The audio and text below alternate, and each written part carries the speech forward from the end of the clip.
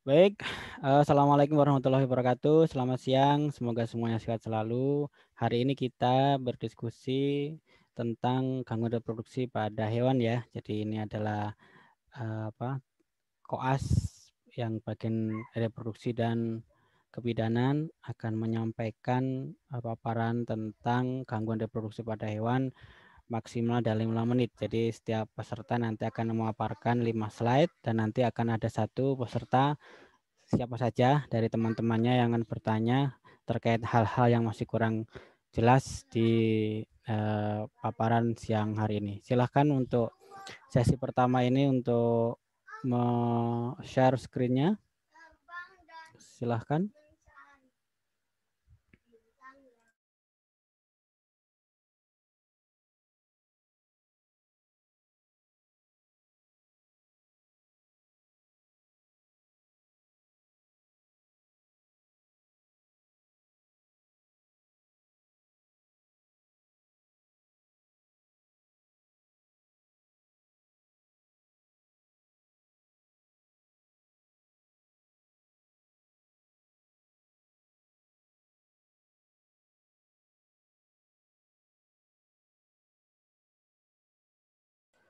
Silahkan untuk urutan pertama ini adalah Indah. Silahkan share screen. Silahkan ya, baik, dokter. share screen-nya.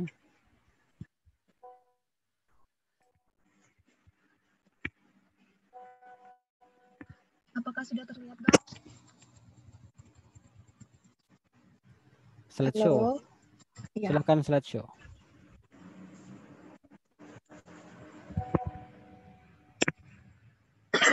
Assalamualaikum warahmatullahi wabarakatuh dan selamat siang. Perkenalkan, saya Indah Ratna Yutami dari kelompok APPDH. Di sini saya akan menjelaskan mengenai bovine granulosa cell tumor atau tumor ovari yang terjadi pada sapi. Di sini definisinya tumor ovarium itu dibagi ke dalam tiga kategori, yaitu tumor epitel permukaan, tumor cord gonadostromal, atau tumor yang menyerupai jaringan stroma pada gonad atau ovarium, dan tumor sel germinal.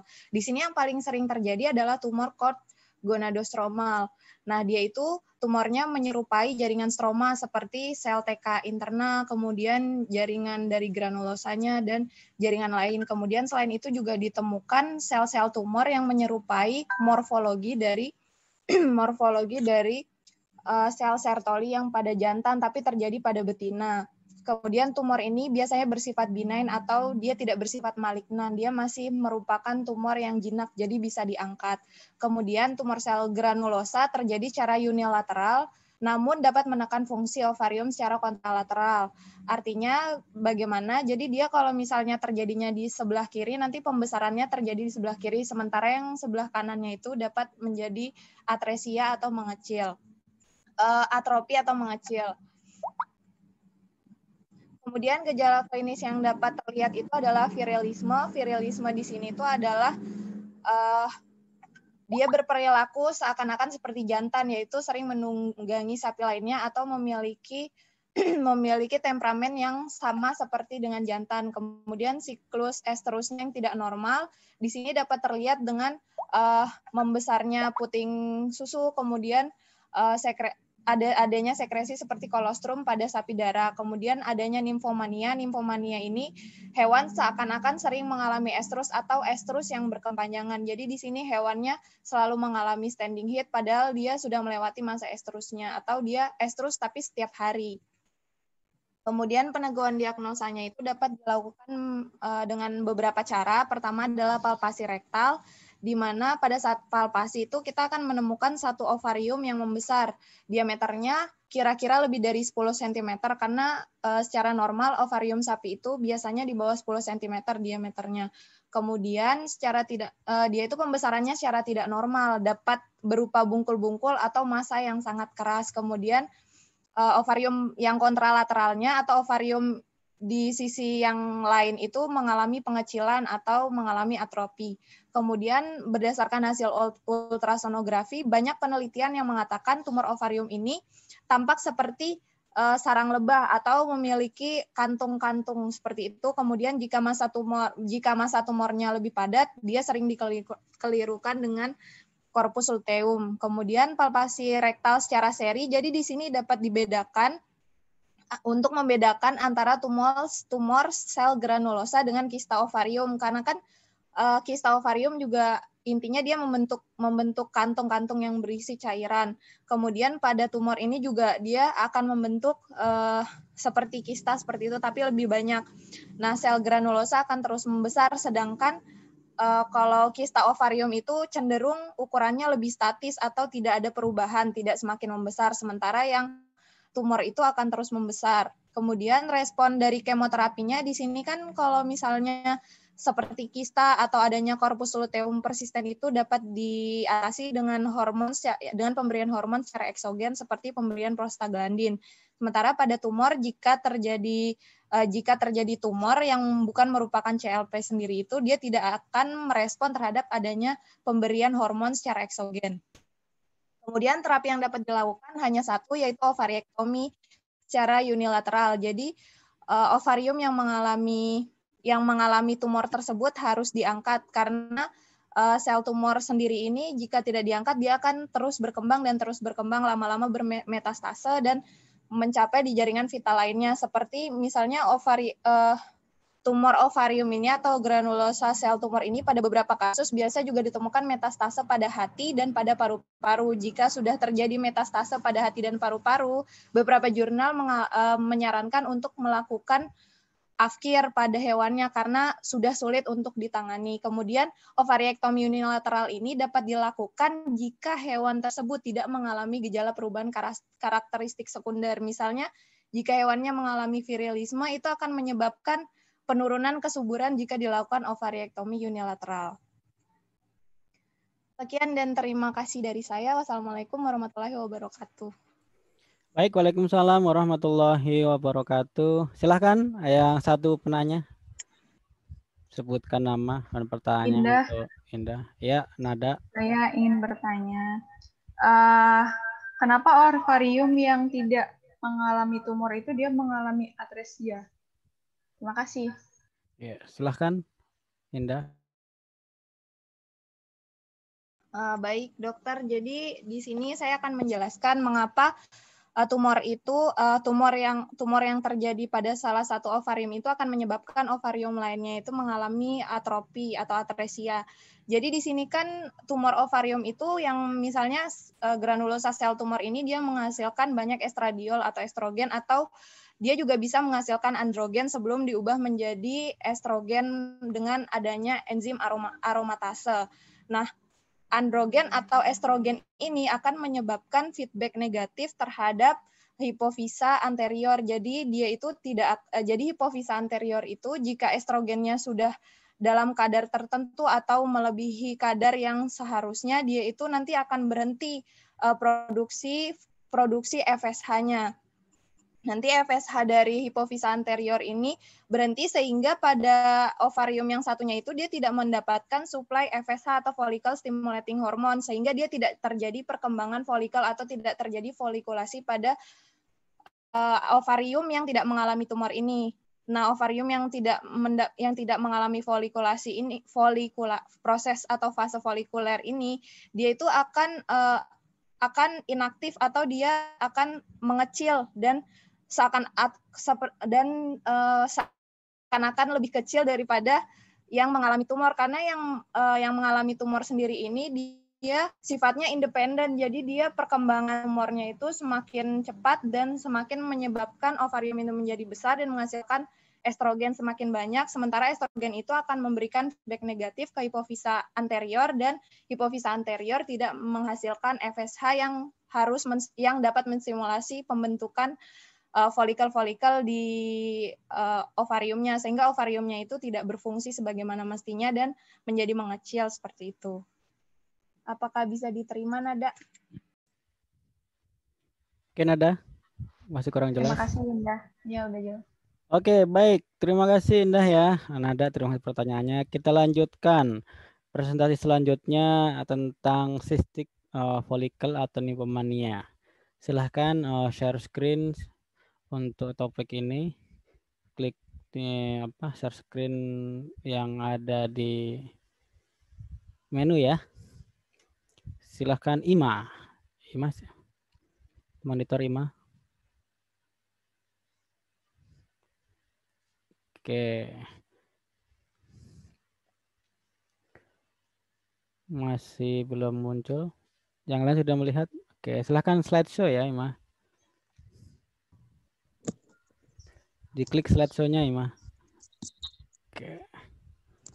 Ya, silahkan. Ya, baik. Terima kasih atas waktunya. Uh, di sini saya akan menjelaskan mengenai gangguan reproduksi kista folikuler pada sapi. Selanjutnya ada definisi dari kista folikuler. Uh, kista folikuler ini merupakan kelainan pada ovarium. Nah, ada dua jenis kista yang sering diderita hewan betina yaitu kista folikuler dan kista luteal. Nah, ciri-ciri kista folikuler ini adalah dindingnya tipis, terisi cairan dan berdiameter lebih dari 25. Biasanya menderita nymphomania atau ingin kawin terus. Nah, estrus biasanya tetap terjadi pada kasus kista folikuler meskipun tidak terjadi ovulasi dikarenakan produksi estrogen yang tinggi namun tidak didukung oleh hormon gonadotropin. Akibatnya hewan tidak bunting meskipun telah diinseminasi berulang kali. Kadar progesteron yang rendah karena tidak adanya korpus luteum. Kemudian untuk predisposisi dan gejala klinisnya, uh, faktor predisposisi dari kista folikuler ini ada breed, peningkatan produksi susu, adanya kandungan estrogen dalam pakan, misalnya zearalenone lenon yang dihasilkan fusarium. Hormon estrogen ini sering ditemukan dalam pakan yang berjamur. Faktor predisposisi lain ada infeksi uterus dan kelebihan berat badan saat kering kandang. Nah, di sini ada anatomi sistem reproduksi sapi yang mengalami kista folikuler di sebelah kiri. Dan kemudian yang gambar di sebelah kanan adalah perbandingan ovarium yang mengalami kista folikuler dan ovarium yang normal. Eh, gejala klinisnya sendiri ini estrusnya terus-menerus meskipun sudah dikawin. Next. Gejala klinisnya eh, estrus terus-menerus meskipun sudah dikawinkan atau sudah diinseminasi. Eh, lalu kita bisa palpasi perektal dan ditemukan adanya kista. Kalau kista kronis akan ditemukan uh, punuk kemajiran. Nah, kelainan ini dikarenakan relaksasi ligamentum di pelvis dan sakrosiatik serta pembengkokan bagian kranial ekor menjadi lebih tinggi sehingga pelvis terlihat uh, merebah. Untuk terapinya sendiri uh, ada gonadorel GNRH, HCG, PGF2 alfa, dan progesteron.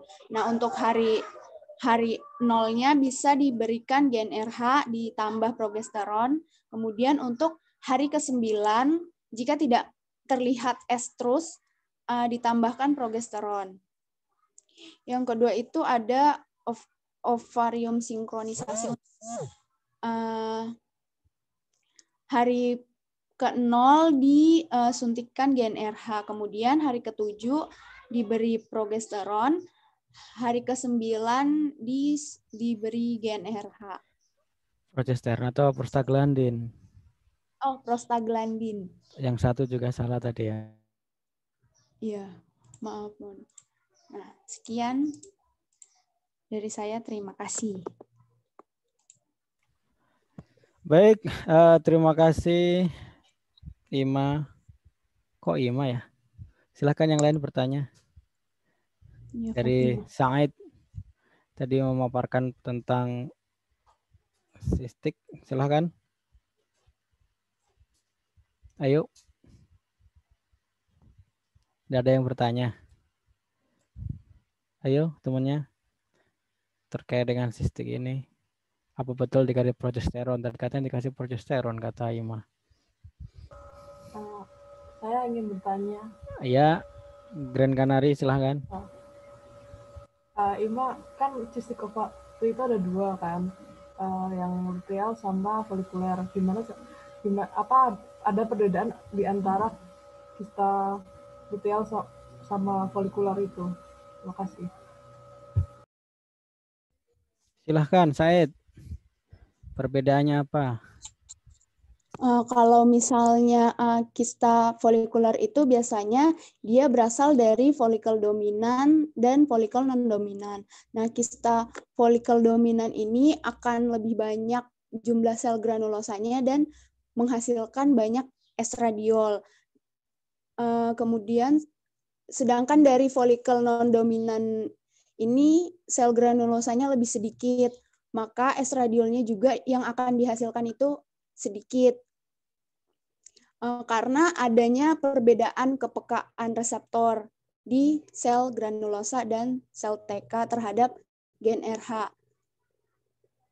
Uh, sedangkan pada kista luteal ini terjadi leutinasi yang terjadi itu hanya folikel dominan saja.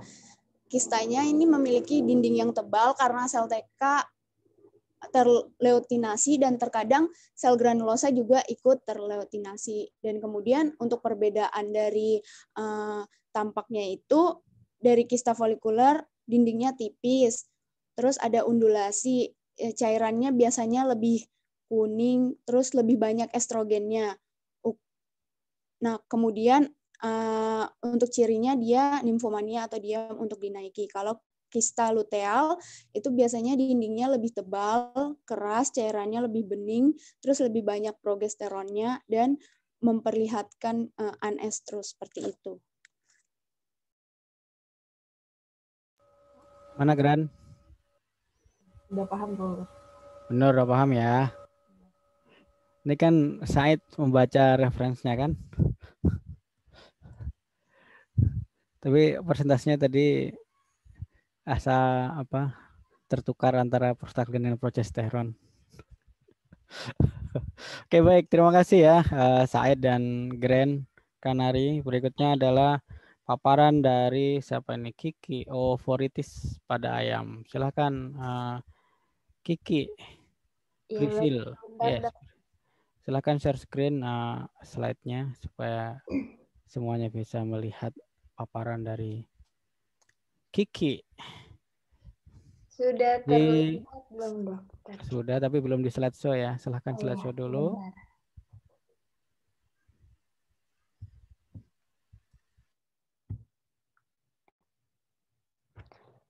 Ya, jadi belum. belum. Oh ya, oke, okay. sip. Loading tadi ya. Ya, silahkan dimulai Ki. Ya. Uh, selamat siang, uh, eh, Dr. Ulum dan teman-teman. Pada hari ini saya akan mempresentasikan uh, gangguan reproduksi pada ayam yaitu ovaritis. Jadi ovaritis adalah peradangan atau inflamasi pada ovarium. Nah, uh, bisa disebabkan oleh penyebab yang infeksius dan non-infeksius. Bila infeksius ini biasanya terjadi akibat dari penyebaran infeksi bakteri, jamur, atau virus. Kemudian yang non-infeksius yaitu bila ada folikel yang ruptur dan menyebabkan kuning telur keluar ke stroma ovarium atau karena toksin. Nah, kalau toksin ini biasanya dari pakan, seperti kalau pada jagung yang uh, buruk biasanya mengandung aflatoksin, seperti itu. Kemudian gejala, gejala klinis yang muncul adalah depresi. Gejala klinis yang muncul ini biasanya bersifat general karena ovaritis ini biasanya disertai dengan uh, infeksi dari penyakit lain.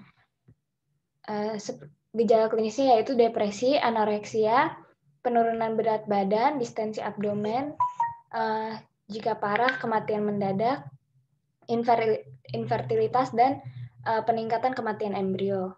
Kemudian diagnosa dapat dilakukan dengan pemeriksaan darah uh, yang akan menunjukkan jumlah leukosit yang banyak leukositosis, kemudian endoskopi, uh, warna dan bentuk ovari yang ditemukan abnormal. Ovari biasanya disertai dengan hemoragi dan bentuk uh, folikelnya biasanya membesar. Kemudian ovaritis yang non-infeksius menunjukkan ovari yang membesar dan terdapat titik-titik kuning multifokal. Dapat juga dilakukan kultur bakteri atau jamur untuk mengetahui penyebab terjadinya peradangan tersebut. Kemudian untuk penanganan, uh, jika ringan dapat dilakukan dengan antibiotik seperti ceftriaxone, cefotaxime, dan enrofloxacin. Uh, terus terapi hormon yaitu luprolid asetat. Ada satu lagi megastrol asetat. Ini adalah untuk menghentikan aktivitas folikel untuk sementara. kemudian drainase abses folikel bila ada, dan ovariektomi untuk infeksi yang kronis atau folikel yang sudah mengalami nekrosa. Sekian dari saya, terima kasih. Baik, terima kasih Kiki. Oke, baik. Teman-teman yang lain silahkan bertanya terkait dengan OO foritis ini. Silahkan. Uh, bagaimana prognosa dari ovaritis? Prognosanya gimana Ki? Dari Nora. Prognosanya itu bila infeksinya ringan, terus peternaknya cepat tahu, cepat menemukan adanya ovaritis ini, maka prognosanya adalah baik. Fausta bisa diobati dengan antibiotik, namun uh, pengobatan antibiotik ini harus dilakukan dengan gencar dan sesegera mungkin. Kemudian untuk infeksi yang uh, sedang, dia ini dubius karena setel, uh, biasanya enam bulan setelah pasca infeksi ayamnya bisa mati. Kemudian untuk yang infeksi berat, dia ini uh, Fausta karena eh infausta karena uh, dia akan mempengaruhi sistem reproduksi ayam ini secara permanen. Nantinya dia uh, tidak akan bisa bertelur secara normal lagi. Uh, apalagi jika yang folikelnya sudah mengalami nekrosa, maka tidak dapat bertelur lagi, sehingga ayamnya perlu dilakukan ovaria hysterektomi. Demikian, Kak. Oke, makasih ya Kiki. Jadi kalau ringan tadi kan bisa apa menyebabkan yang tidak kelihatan ya dari ya. luar tapi bisa menyebabkan bisa dilihat dari deteksi uh, kematian embrio yang banyak ya dari TET-nya. Ya dokter.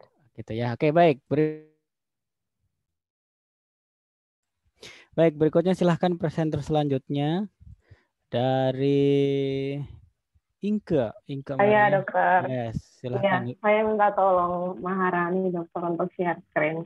Oh ya silahkan uh, operator ya. untuk men-sharekan terkait hipoplasia ovari. Ya. Baik, terima kasih Rani. Silahkan slideshow Rani. Raninya Oke. Silakan Inke, uh, sudah nampak kah? Sudah, tapi Kenapa agak aneh ya?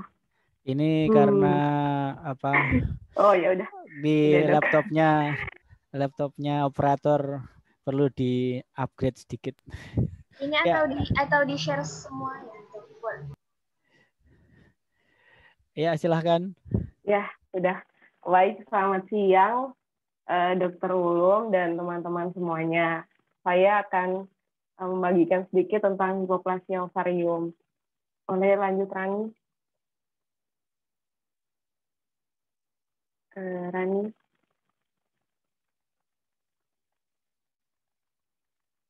Sepertinya sinyalnya. Oke. Okay.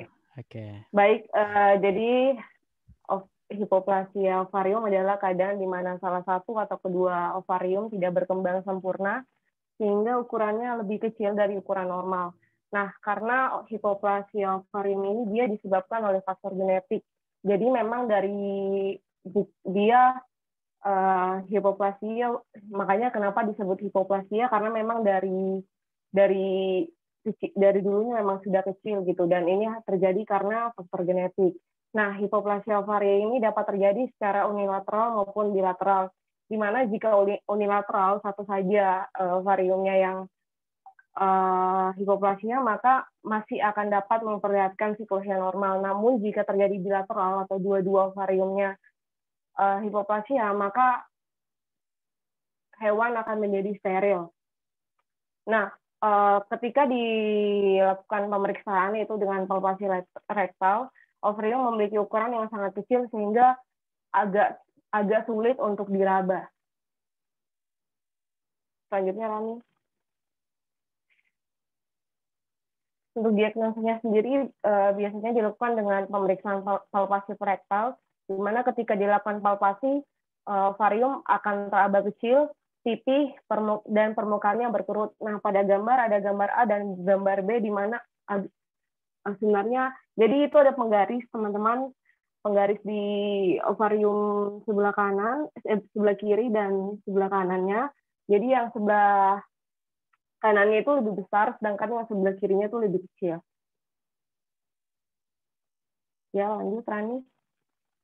Nah, untuk penanganan dan pencegahannya sendiri, karena ini adalah uh, cacat kongenital atau bawaan, jadi untuk pencegahannya sendiri, ya harus dilakukan seleksi genetik karena ini merupakan penyakit yang menurun dan juga mungkin bisa diberikan manajemen pakan sehingga akan membantu mendukung kesuburan saluran reproduksi dan juga manajemen kesehatan lainnya seperti uh, kesehatan sapinya sendiri atau hewannya, program pengobatan dan vaksinasi, dan tentunya juga kebersihan dan lingkungan kandang yang baik.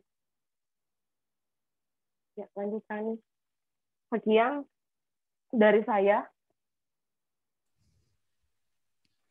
Baik, terima kasih Inke. Silahkan yang lain bertanya tentang ini apa hipoplasia ini apa yang dipaparkan oleh Inka tadi. Ya dok. Ya dok. Yuk. Uh, ya, uh, saya ingin bertanya mengenai bagaimana ya kita membedakan antara kasus hipoplasia ovarium tadi dengan atrofi ovarium seperti itu. Baik, yeah. uh, jadi memang benar ya hipoplasia dan atrofi ini mirip karena sama-sama kecil. Namun yang menjadi yang menjadi dasar perbedaan mereka berdua atau penyakit penyakit hipoplasia dan atrofi ini didasarkan pada uh, apa tadi penyakit bawaan. Jadi kalau hipoplasia itu memang sudah bawaan, sudah dari dulu memang tidak berkembang atau uh, berkembangnya sedikit, sedikit lebih kecil dari yang normal. Sedangkan kalau atrofi atrofi itu kan berarti semulanya berkembang tapi kemudian yang mengecil. Biasanya atrofi itu lanjutan dari hipofungsi ovarium. Nah, kalau untuk bedanya juga ke, kalau dari gejala klinis biasanya untuk populasi ovarium itu sulit untuk dilihat dari gejala klinis. Namun kalau untuk atrofi uh, biasanya apa terjadi dari gejala klinisnya itu hewannya hewannya lebih lebih kurus. Sedangkan kalau hipoplasia bisa biasanya hewannya baik-baik aja biasa aja dan dia tumbuhnya lebih baik daripada atrofi. Nah memang memang susah susah sebenarnya untuk membedakan atrofi atrofi ovarium dan hipoplasia ovarium sehingga dibutuhkan pemeriksaan yang rutin untuk melihat perbedaannya. Terima kasih. Oke gitu ya, Di. Jadi kalau bawaan kan berarti dari kecil nggak estrus-estrus kan walaupun sudah fasenya berakhir. Walaupun dia gemuk kan. Gitu kak ya? Iya. Kalau atrofi kan berarti sudah pernah pernah apa? Berakhir. Sudah pernah ya. Ya, sudah pernah, pernah berkembang berkembang dan bersiklus kan aktif kemudian dia nggak bersiklus lagi terjadi pengecil iya dan mengecil kan atrofi iya, kalau gitu sama hipofungsi gimana kak hipofungsi yang saya baca hipofungsi kan dia apa adanya penurunan fungsi dokter oh, jadi ya. yang saya baca okay. kalau atrofi Oh ya, atrofi itu lanjutan, lanjutannya dokter. Ah ya, oke. Berarti urutannya salah ini maksudnya tadi ya. Harusnya hipofungsi dulu. Oh, hipofungsi gitu. dulu ya dokter ya. Oh iya, benar dokter. oke, baik. Terima kasih kak ya. Baik, berikutnya terima kasih, adalah. dokter dan teman-teman. Ya, terima kasih pertanyaannya, gas. Berikutnya adalah tentang hipofungsi. Ini silahkan Grand Canary untuk share slide-nya. Dokter.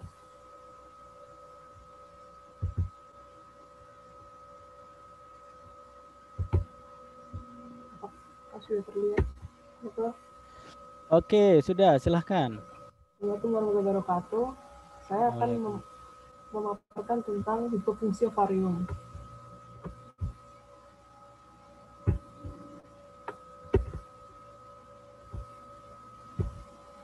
Nah, hipofungsi ovarium merupakan kejadian di mana ovarium mengalami penurunan fungsi sehingga tidak terjadi perkembangan folikel dan tidak terjadi hipofungsi varium menyebabkan hewan tidak menunjukkan gejala estrus atau anestrus lebih dari 10 hari setelah melahirkan. Faktor yang menyebabkan hipofungsi ovarium ini adalah proses lepasi pada induk, frekuensi pemerahan, produksi yang tinggi, dan rendahnya efisiensi produksi, serta juga bisa karena defisiensi nutrisi. Faktor-faktor ini menyebabkan rendahnya sekresi GNR, gonadotropin releasing hormone di hipotalamus, dan rendahnya sekresi folikel stimulasi hormon dan luteizing hormon di lingkup anterior sehingga folikel ovarium tidak berkembang dan hewan tidak menunjukkan gejala estrus.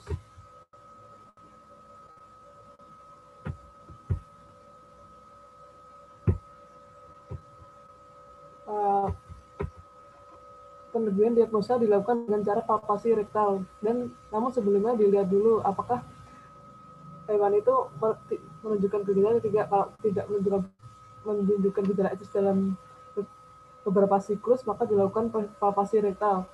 Palpasi rektal akan menunjukkan ovarium teraba kecil, rata dan halus, folikel dan folikel masih prematur. Tidak teraba adanya corpus luteum baik yang sedang berkembang maupun regresi untuk menentukan diagnosa dilakukan uh, kedua setelah 10 hari. Jika varium berfungsi, maka tidak ada perubahan dari pemeriksaan yang pertama. Terapi yang dapat dilakukan adalah dengan perbaikan pakan dan nutrisi serta pemberian uh, gonadotropin racing hormon seperti lutein, fertilorelin, dan buserelin. Sekian, terima kasih. Baik, terima kasih Grand Canary. Silahkan teman-teman. Lanjutan pertanyaan untuk Grand Canary. Saya ingin bertanya. Ya, oke. Okay. Uh, eh, kenapa eh bagaimana uh, eh, GNRH ini bisa jadi obat untuk hipofungsi uteri? Terima kasih. Silahkan. Uh, baik, saya terima kasih atas pertanyaannya. Saya akan menjawab pertanyaan dari Ima. Jadi si gonadotropin hormon ini akan menstimulasi kerja dari pituitary anterior untuk mensekresikan hormon FSH dan LH. Si FSH ini nanti akan uh, membentuk uh, folikel kan. Nah, folikelnya me, meng, akan menghasilkan estrogen, akhirnya akan terjadi estrus. Sudah, terima kasih. Gimana, Mak? Kenerhana. Halo? Oh iya. Iya, sudah paham. Terima kasih Grand Canary. Grand Canary. Oke, baik. Dari dikasih apa hormon paling atas ya. Oke, baik. Uh, Ulfa sudah nyala lampunya ya. Tadi mati listrik sepertinya. Baik, selanjutnya uh, terima kasih Grand Canary dan Ima. Berikutnya adalah tentang CLP. Ini surprise ini tidak tahu ini siapa. Silahkan Titis ya ternyata. Silahkan Titis untuk slideshow. Saya dok, oh, saya. Bukan. Oh bukan Titis ya? Oh. saya, oh, ya. tapi dibantu share sama Titis. Oh gitu. Oke silahkan baik. Detia. Uh, baik. Baik, Bismillahirrahmanirrahim. Assalamualaikum warahmatullahi wabarakatuh. Uh, saya akan mempresentasikan mengenai korpus luteum persisten. Uh, next, please. Uh, udah next, Uh, baik, definisi dari korpus luteum persisten ini merupakan kondisi tertahannya korpus luteum karena tidak mengalami regresi. Nah, sel menetap dalam ovarium dalam jangka waktu lama, itu sekitar lebih lebih dari satu siklus estrus, dan ukuran tidak mengalami perubahan, sehingga dapat menghasilkan progesteron terus-menerus dan menimbulkan gangguan reproduksi dengan gejala anestrus. Next. Nah, adapun untuk penyebab dari korpus luteum persisten ini yaitu uh, pertama bisa dari kondisi patologis juga bisa dari kondisi non patologis. Nah, untuk kondisi patologisnya yaitu yang uh, yang pertama ada mumifikasi fetus, maserasi fetus, endometritis, metritis dan piometra. Kemudian untuk kondisi non patologisnya dapat disebabkan karena produksi susu yang tinggi, involusi uteri yang terhambat dan pengobatan NSAID. Next. Untuk peneguhan diagnosanya sendiri itu bisa dilakukan dengan anamnesis atau recording siklus birahi, papasi rektal, uji progesteron, USG, endometrial biopsi, dan pemeriksaan korpus luteum secara postmortem. Next.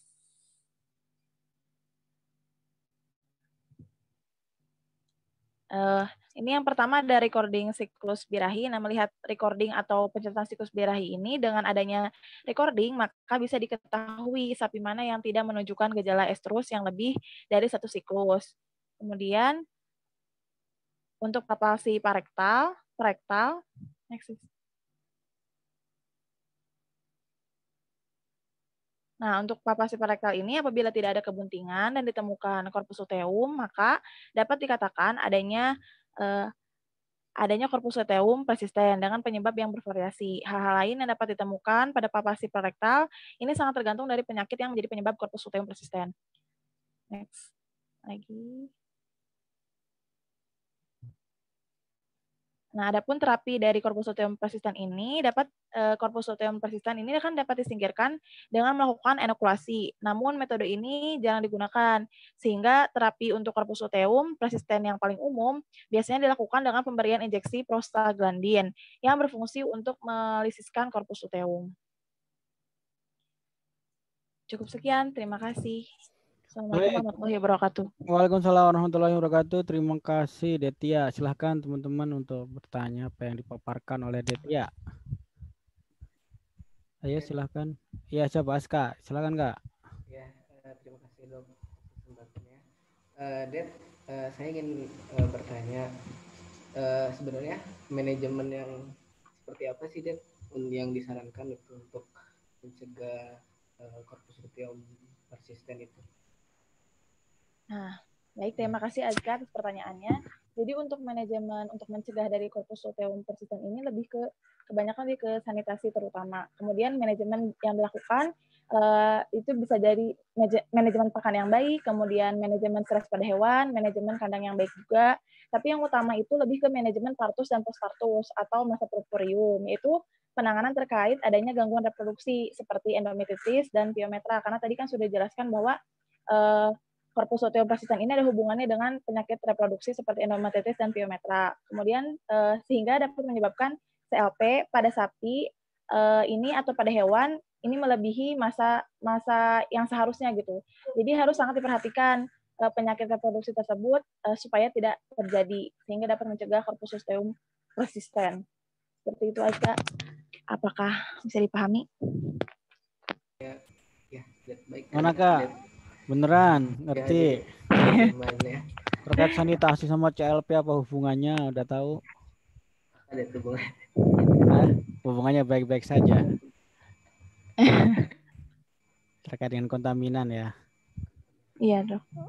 Oke, baik. Selanjutnya kita sudah beralih dari organ ovarium ya. Organ ovarium sudah selesai dipaparkan. Kita sekarang bergeser ya mulai dari tubuh fallopi sampai dengan uterus. Baik, sekarang kita paparan ketujuh tentang retensi plasenta. Siapa ini? Ulfa ya. Silahkan, Pak. Baiklah. Tentang retensi plasenta atau retensi sekundine. Retensi tidak keluar dari kelas induknya dalam beberapa referensi yaitu ada yang 8 sampai 12 jam, ada yang 12 jam, atau ada yang lebih dari 12 jam sampai 24 jam setelah melahirkan. Uh, hal ini terjadi karena kegagalan pelepasan fitli dari kita dari induk.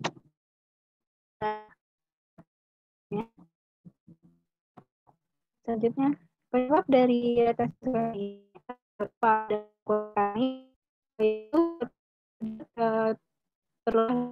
terus tidak terlepas uh, dari uh, kemudian ada uh, bisa disebabkan karena inan uh, ini bisa terjadi karena uterus, uterus yang terjadi setelah melahirkan juga disebabkan desesiasi hormon yang menstimulasi kontraksi uterus waktu melahirkan. Contoh hormonnya yaitu oksitoksin.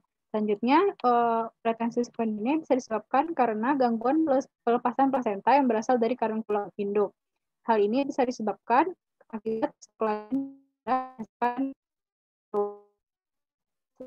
Selanjutnya, penyebab, uh, bisa disebabkan dan yang mineral seperti selenium dan zinc. Selanjutnya, ya, dari AMH, kemudian gejala ini yang bisa kita lihat berupa anemia menggantung hidup dan bisa dilakukan uh, diagnosa uh. Pemeriksaan pervaginal ini dilakukan 2 sampai 36 jam postpartus. Apabila pemeriksaan dilakukan lebih dari 48 jam, uh, akan uh, kesulitan karena serviks sudah mulai menutup.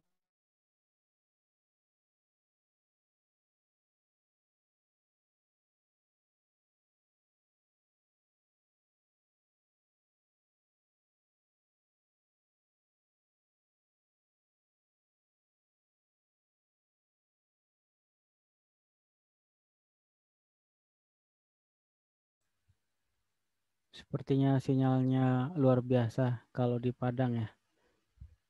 Harus lewatin gunung, terbang dulu kena angin, awan, nyebrang di ini apa? Di laut juga, baru nyampe Jakarta lewat Lampung dulu ya. Jauh sekali ini. Oke, baik teman-teman, ternyata perjuangan Ulfa luar biasa dari Padang untuk menyampaikan suaranya hingga ke kita semua di Bogor dan yang lainnya. NTB lancar saja Faris ya. Ternyata terbang dari timur ke barat lebih cepat daripada barat ke timur suaranya. Oke, baik sambil menunggu Ulfa, Ulfanya. Halo Ulfa. Sepertinya dia hilang dari grup dan pede sekali bercerita begitu ya dilanjutkan presentasi dan tidak sadar kalau putus sinyal. Jadi ini kejadian kalau pada saat presentasi kan monitornya kan hanya PowerPoint-nya saja kan. Nah, tidak terpantau bahwa sudah di luar ruangan begitu ya. Seperti ini perlu pengembangan teknologi bagaimana memantau saat presentasi masih dalam ruangan. Oke, selamat bergabung lagi uh, Ulfa. Monitor Ulfa masih belum ada suara. Baik suaranya kena hembusan angin laut ya. Eh kalau siang itu angin laut, angin darat. Halo Ulfa. Monitor. belum ya? Iya halo, sudah ada lagi. Tadi sampai di mana tadi ya presentasinya? Sampai. Pasti bingung. Terapi bukannya dok? Keluarnya tadi? Terapi masih mana Kayaknya tadi masih ya? peneguhan deh tadi, Fah. Iya. Peneguhan. Maaf. Masih peneguhan dan tidak ada suara. Silahkan diulang lagi ya. Untuk peneguhan dia, ba- baiklah Iya. saya ulangi. Untuk peneguhan diagnosa itu bisa dilihat dari anamnesa. Kemudian juga bisa dili- dilihat dari gejala klinis yang tampak berupa adanya plasenta yang menggantung dari vulva induk. Kemudian eh, bisa dilak eh, untuk pemeriksaan lanjutan bisa kita lak- lakukan pemeriksaan pervaginal 24 jam hingga 36 jam postpartus. Jika sudah lebih dari 48 jam, pemeriksaan ini sulit dilakukan karena serviks sudah mulai menutup. Selanjutnya terapi. Terapi atau treatment untuk eh, retensi sekundina ini sangat tergantung dari penyebab dan ada atau tidaknya gejala peradangan yang tampak. Kemudian, terapi ini bertujuan untuk menghilangkan sisa-sisa plasenta dari saluran reproduksi. Eh, terapi ini dapat berupa pemberian preparat hormon, prostaglandin dan oksitosin untuk memudahkan pelepasan plasenta itu sendiri.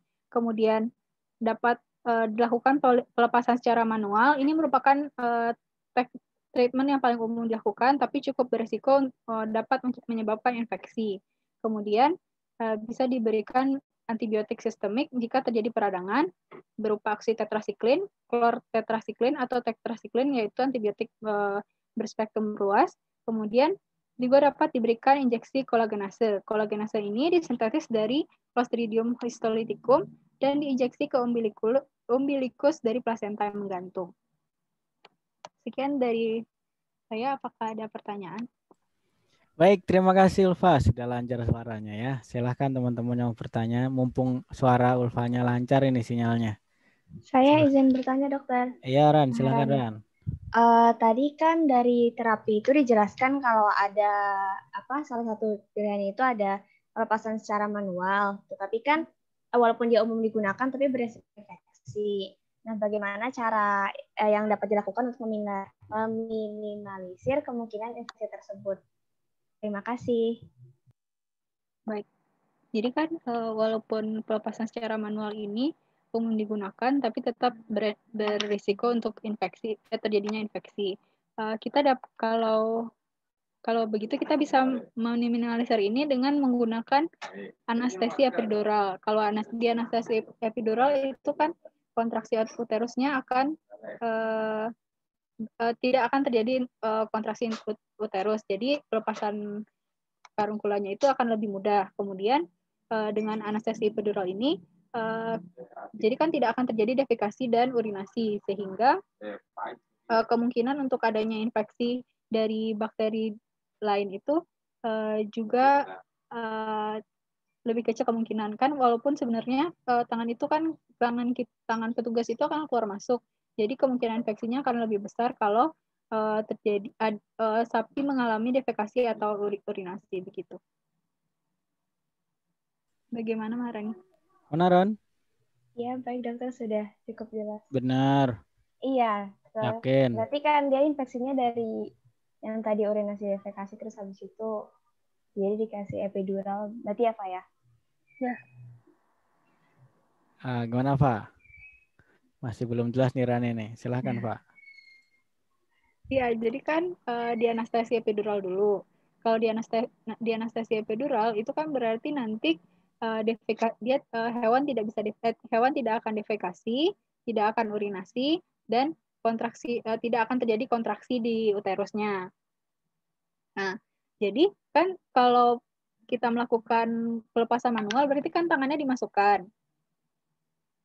Ketika tangan dimasukkan, berarti kan kalau misalnya uh, infeksi itu tuh kan terjadi kalau ada bakteri, sedangkan defekasi dan urinasi itu rentan terhadap maksudnya lebih memudahkan masuknya bakteri. Kemudian kalau misalnya defekasi dan urinasi itu uh, tidak ada, maksudnya tidak tidak keluar, berarti kan uh, cukup bersih. Jadi kemungkinan untuk terjadinya infeksi itu uh, lebih sedikit bisa di kemungkinannya bisa di, diturunkan, diminimalisir. Terus selanjutnya karena tidak terjadi kontraksi uterus, jadi pelepasan uh, filinya itu lebih gampang, uh, pelepasan karungkulanya itu lebih gampang karena tidak ada kontraksi begitu. Bagaimana Maharani? Sudah lebih jelas lagi dibanding Masa? Iya dok. Saya jadi aneh nih. Padahal kontraksi uterus itu penting untuk proses pelepasan uh, plasenta ini. Maka terapinya kan diberikan uh, apa hormon prostaglin oksitosin kan. Kalau iya, dibius gimana? Makin macet atuh. Ah, coba apa gimana mempertahankan jadi, pendapat tadi. Bisa, jadi kan sebenarnya bisa uh, diberikan uh, oksitosin uh, sebenarnya terapi ini bisa menggunakan hormon dengan oksitosin atau tanpa oksitosin dok. Jadi kalau misalnya dengan oksitosin berarti uh, uh, pelepasan antara uh, fili, uh, karangfulanya itu akan lebih mudah begitu dok.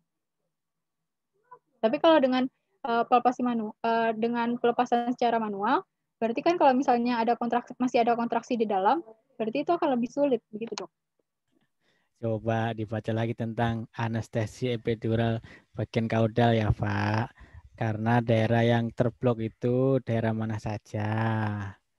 Ya, nanti baru bisa menjelaskan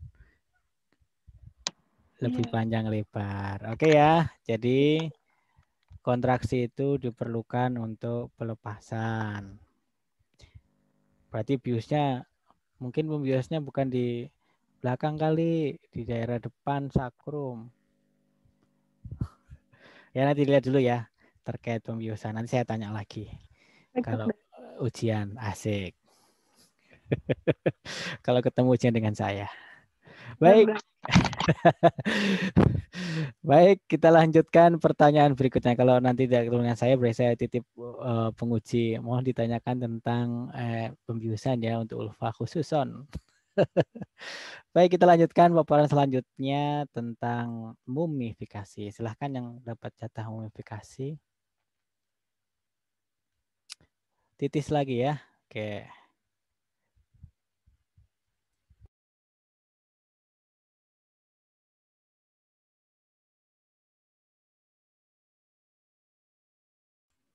Silahkan slide sotis. Ah, oke, silahkan.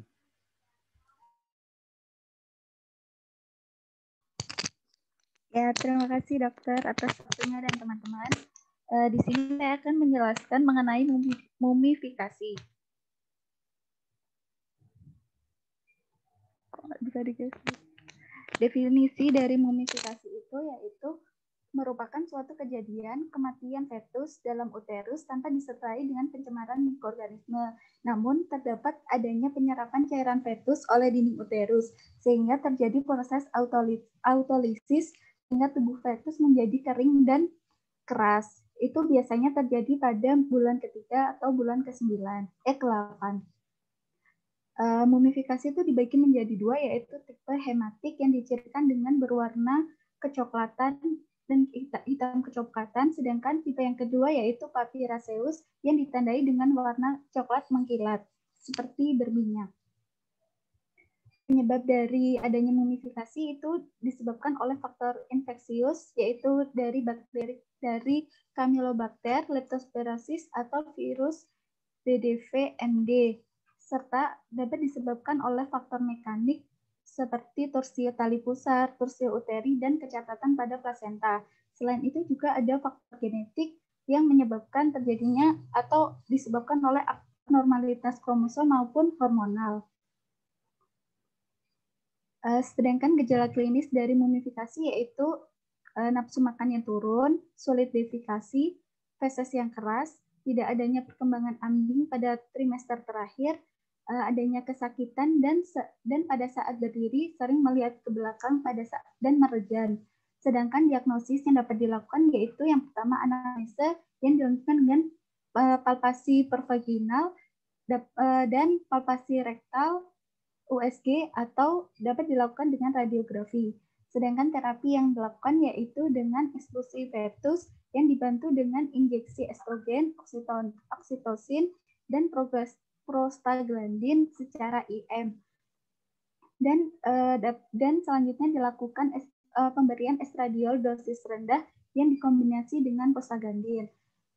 Uh, selan, apa dapat juga digunakan prostaglandin PGF2 alpha dan dilakukan pembedahan secara operasi sesar. Untuk pencegahan itu dapat dilakukan dengan sanitasi kandang dan monitoring reproduksi secara ketat pada hewan yang bunting. Terima kasih. Baik, uh, terima kasih, Tis. Silahkan yang bertanya pada Titis. Saya dokter. Ya, ke. Saya ingin ke dokter mau tanya ke Titis. Iya, Titis uh, mau tanya.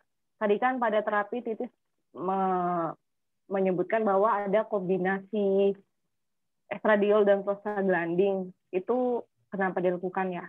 Tujuannya apa? Terima kasih.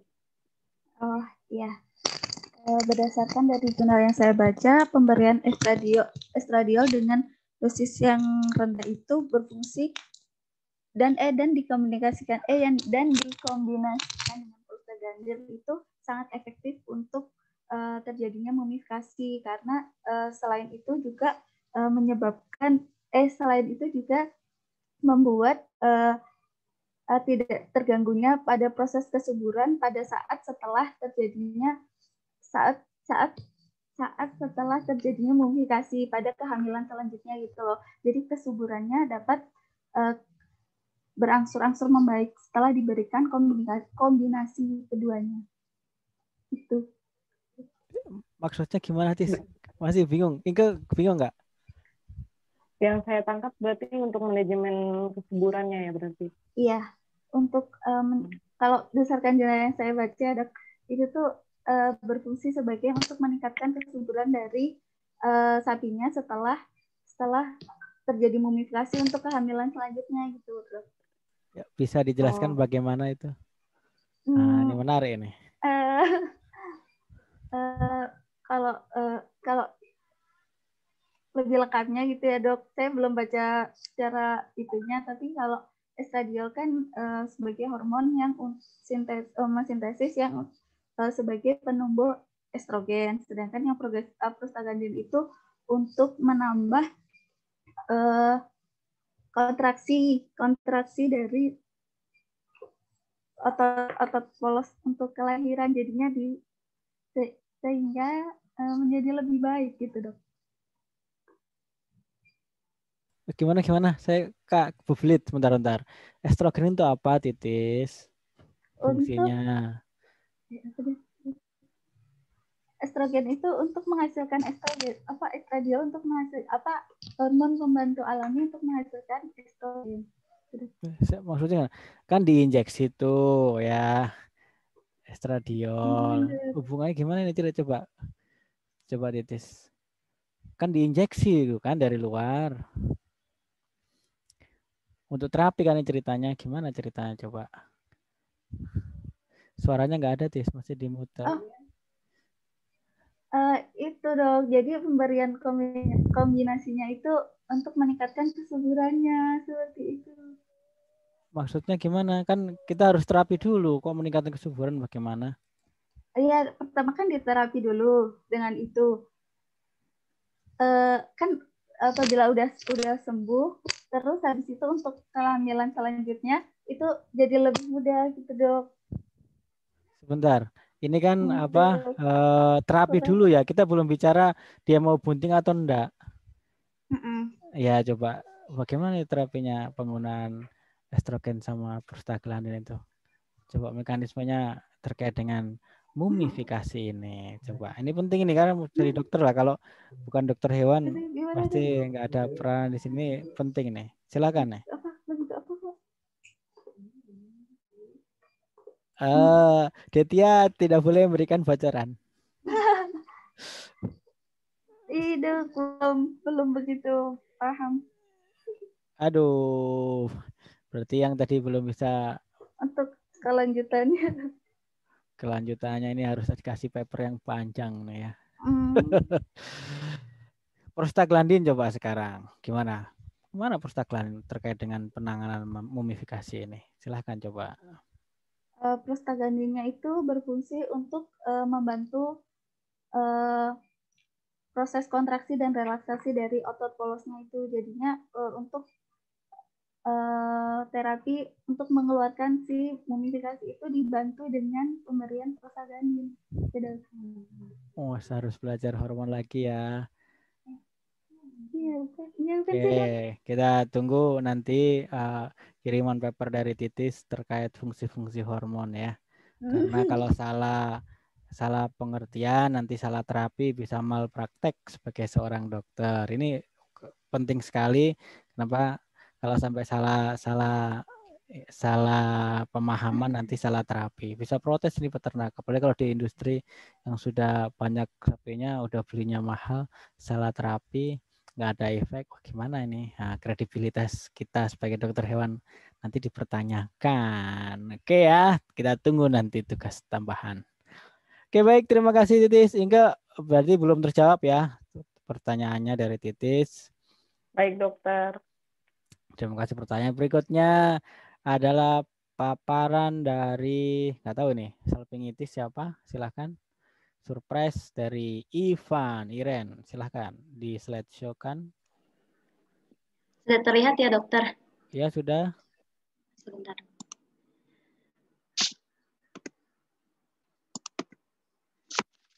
Ya baik, uh, selamat siang menjelang sore teman-teman semua dan dokter Ulum. Uh, saya akan memaparkan sedikit mengenai salvinitis. Uh, jadi salvinitis merupakan inflamasi pada oviduct atau tuba falopi yang umumnya disebabkan oleh infeksi secara ascendens. Jadi uh, biasanya penyakit ini itu uh, bukan infeksi tunggal seperti itu. Jadi dikaitkan dengan endometritis yang kronis. Jadi endometritisnya uh, atau atau yang tidak ditangani seperti itu sehingga terjadi penyebaran infeksi sampai ke saluran uh, oviduct atau tuba falopi. Nah, infeksinya ini bisa terjadi unilateral atau bilateral. Unilateral itu ya di, di hanya satu saluran, kalau dua-duanya berarti bilateral. Nah, bi, pada kejadian bilateral ini biasanya eh, hewan sapinya ini eh, steril. Lalu eh, bakteri yang berhubungan dengan infeksi saluran genital ini biasanya adalah Escherichia coli dan yang paling banyak itu ditemukan Arcanobacterium pyogenes, lalu Trichomon Trichomoniasis, uh, Campylobacteriosis, Mycobacterium, Staphylococcus dan Streptococcus. Gejala klinis yang ditemukan uh, biasanya cairan mukopurulen atau purulen, uh, demam, nafsu makan berkurang, kelelahan, tidak terjadi kebuntingan, dan penurunan produksi susu. Jadi gejala klinisnya ini umum banget, bahkan bisa ditemukan pada kasus endometritis. Nah ini gambaran patologi anatomis dari endometritis dan di sebelahnya ini salpingitis yang kalau misalnya masih masih tahap ringan itu seperti ini dan uh, pada tahap yang uh, lebih parah itu yang di bawahnya. Selanjutnya diagnosanya itu, nah karena uh, letak ovidak ini uh, tersembunyi, terus juga salurannya bukan saluran kecil, jadi sulit divisualisasikan bahkan dengan uh, menggunakan teknik diagnosa uh, diagnostik imaging. Nah, uh, diagnosisnya bisa dilakukan terhadap endometritisnya dulu. Apakah terdapat endometritis yang uh, parah atau tidak? Biasanya kalau misalnya ada endometritis yang parah dan tidak dan tidak segera ditangani, biasanya uh, terjadi salpingitis. Nah, ini untuk uh, diagnosis salpingitisnya ini bisa digunakan palpasi rektal. Ultrasonografi ini terhadap endometritis atau analisis mikroskopis. Ini analisis mikroskopis ini dengan melakukan flushing cairan uterus nanti diambil dan dilakukan kultur bakteri. Selanjutnya pemeriksaan endometrium uh, smears untuk menentukan uh, jumlah sel PMN, limosit dan makrofag. Biasanya kalau ada uh, biasanya ada peningkatan dari jumlah sel-sel uh, darah putih tersebut. Nah, penanganannya itu penanganannya itu sebenarnya sulit untuk salvinitis karena tadi pertama kita tidak uh, sulit untuk mendiagnosanya. Nah, sehingga pencegahan itu adalah uh, pencegahan itu adalah yang paling utama sebenarnya. Jadi kalau dan kalau misalnya ada ditemu, misalnya ditemukan uh, kejadian kasus endometritis itu harus segera ditangani supaya tidak menjalar ke atas infeksinya. Selanjutnya di uh, pertama-tama ini di uh, menggunakan irigasi intrauterin. Ini dapat menggunakan NaCl fisiologis atau antiseptik kimia dengan dosis rendah, biasanya povidone iodin. Uh, antibiotiknya ini secara intrauterin. Biasanya digunakan ini menurut jurnal yang saya baca digunakan ini penisilin dan set, set, setiufor salah salah tulis ini, mohon maaf, setiufor namanya. Lalu ter, uh, ini jika sudah jika sudah ditangani kasus perada, uh, inflamasinya, maka dilakukan, dilakukan terapi hormonal untuk memperbaiki siklus estrusnya. Uh, terima kasih. Sekian, terima kasih. Apakah ada pertanyaan? Ya, baik. Terima kasih, Ren.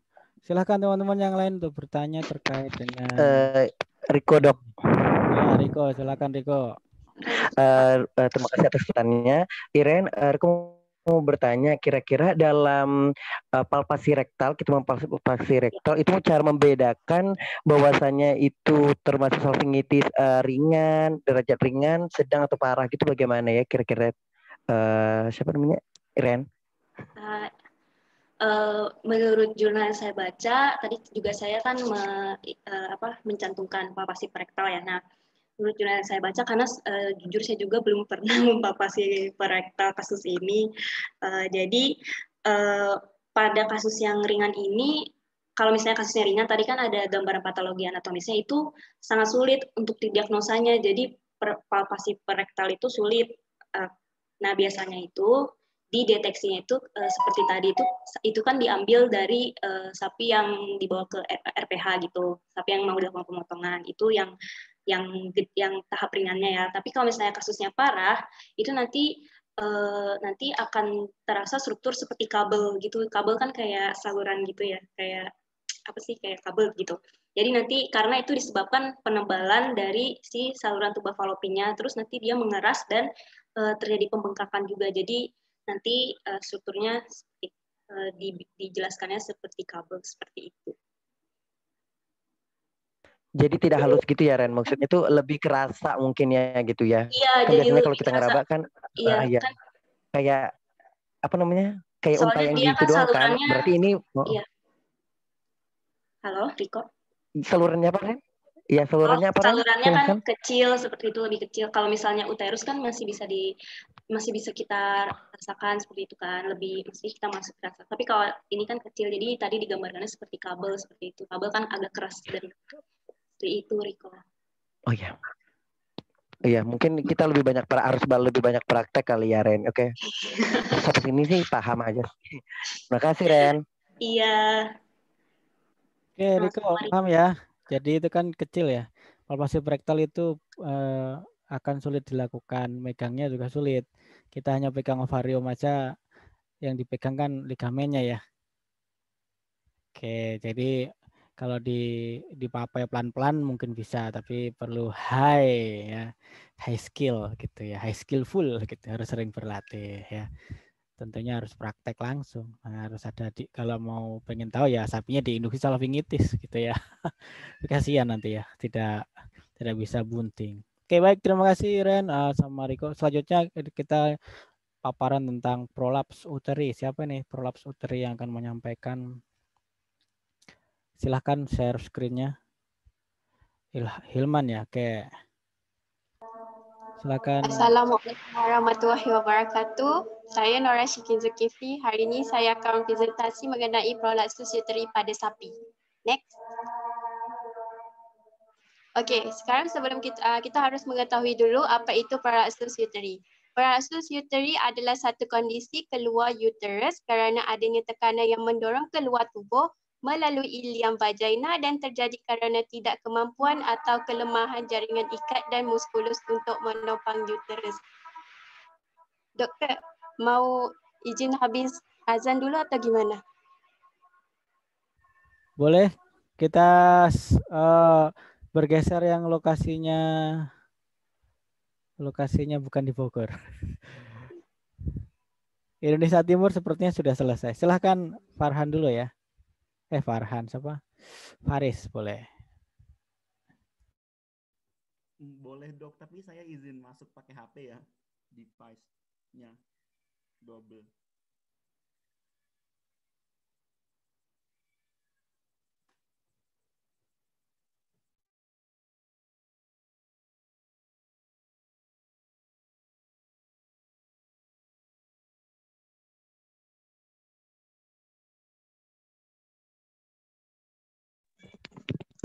Silahkan Faris tentang ya. apa? Share screen. Apakah sudah terlihat? Sudah terlihat dokter ya? Ya, sudah. Silakan saya slideshow. Ups.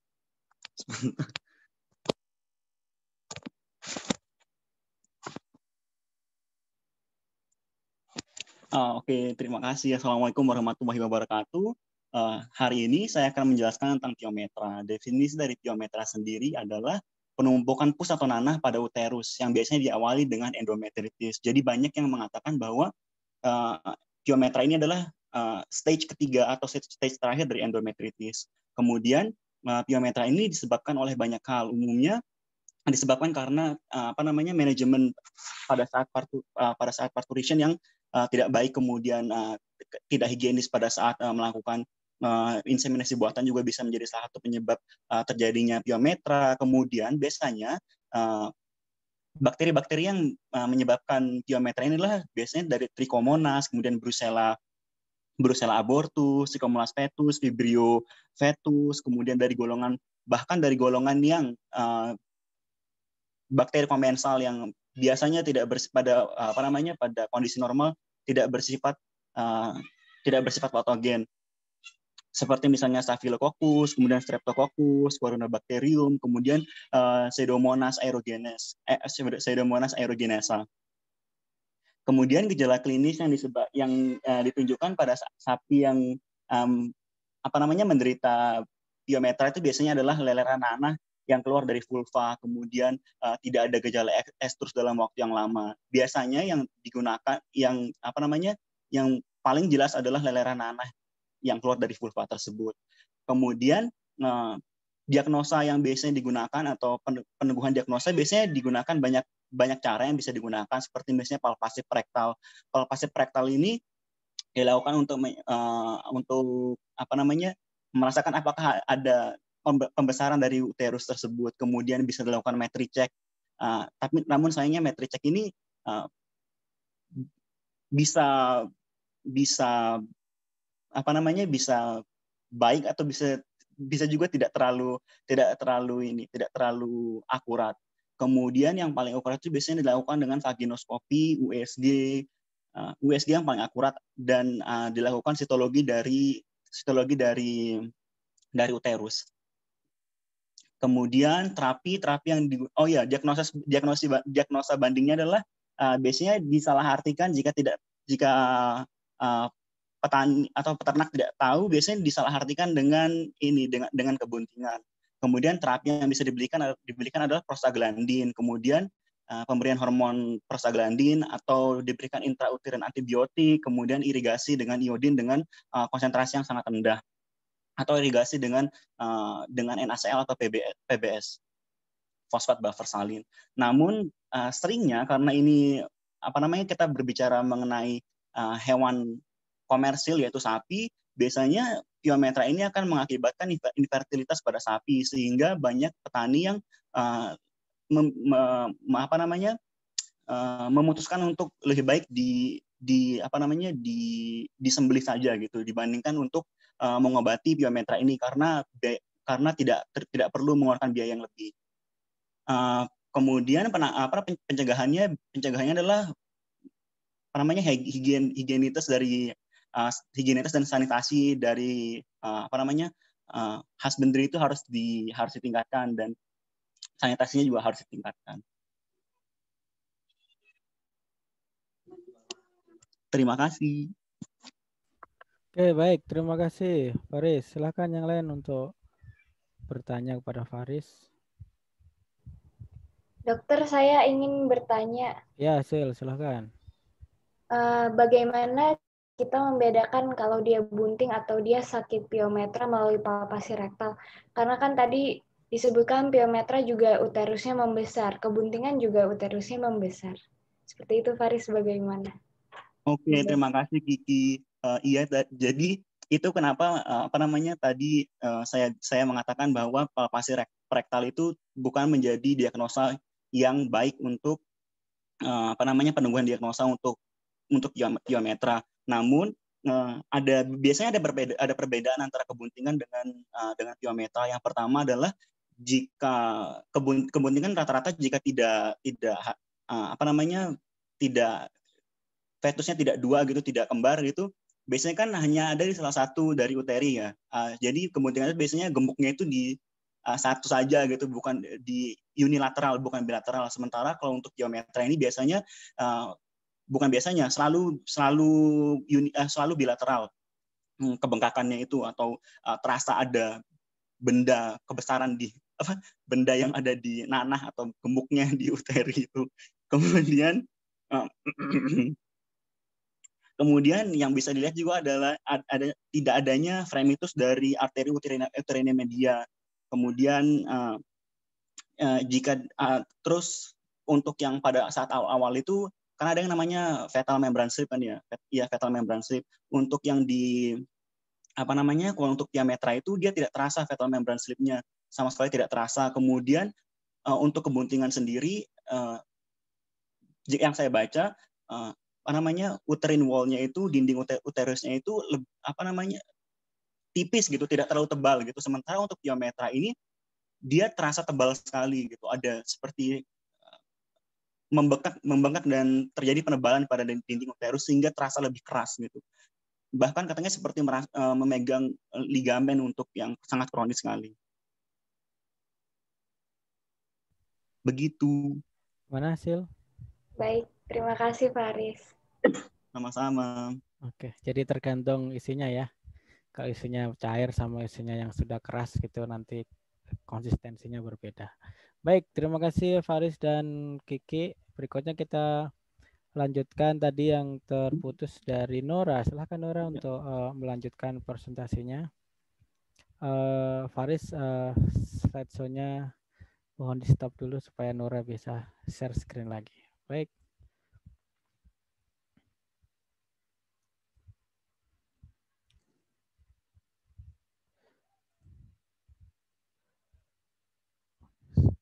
Silahkan Nora. Hilman ya tadi yang mau share screen. Hilman bantu. Ah, ya. Oke, silahkan dilanjutkan Nora untuk memaparkan kembali.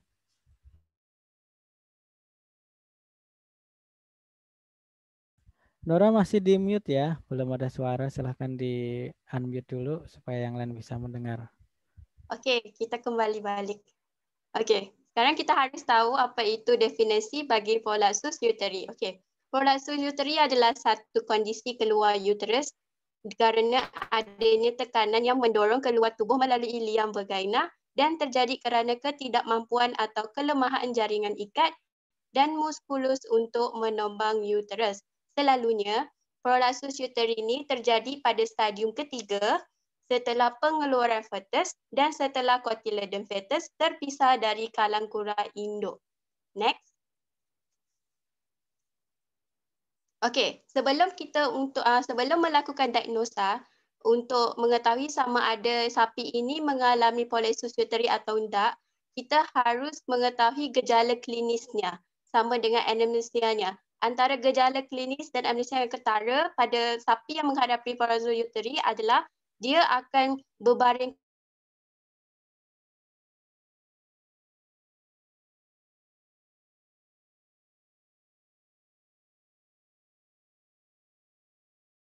ukuran pada uterus. Jadi berdasarkan dari anemisia dan tanda klinis yang ditemukan, kita dapat ditarik diagnosa bahawa sapi yang mengalami uterus akan uh, menggantung keluar uh, uterusnya uterus akan menggantung keluar di vulva sesaat setelah melahirkan. Next.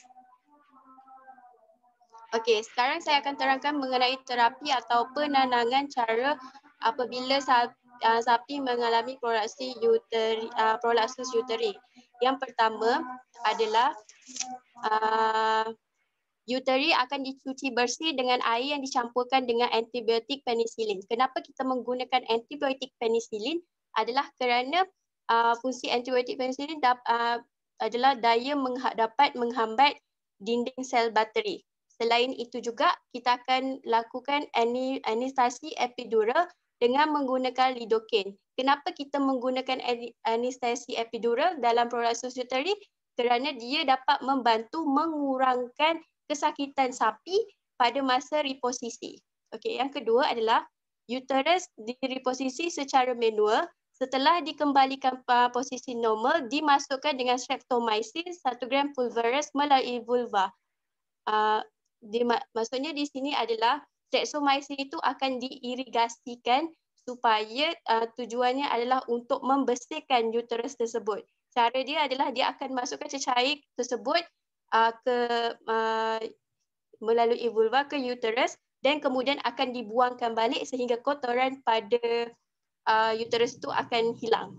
Dan kita akan lakukan anestesi lokal di sekitar vulva dan dilakukan penjahitan pada pola uh, puresting uh, kegunaan penjahitan pola polisting pada prolapsus uteri ini adalah dia untuk menutup uh, vulva dan anus apa setelah prolapsus itu.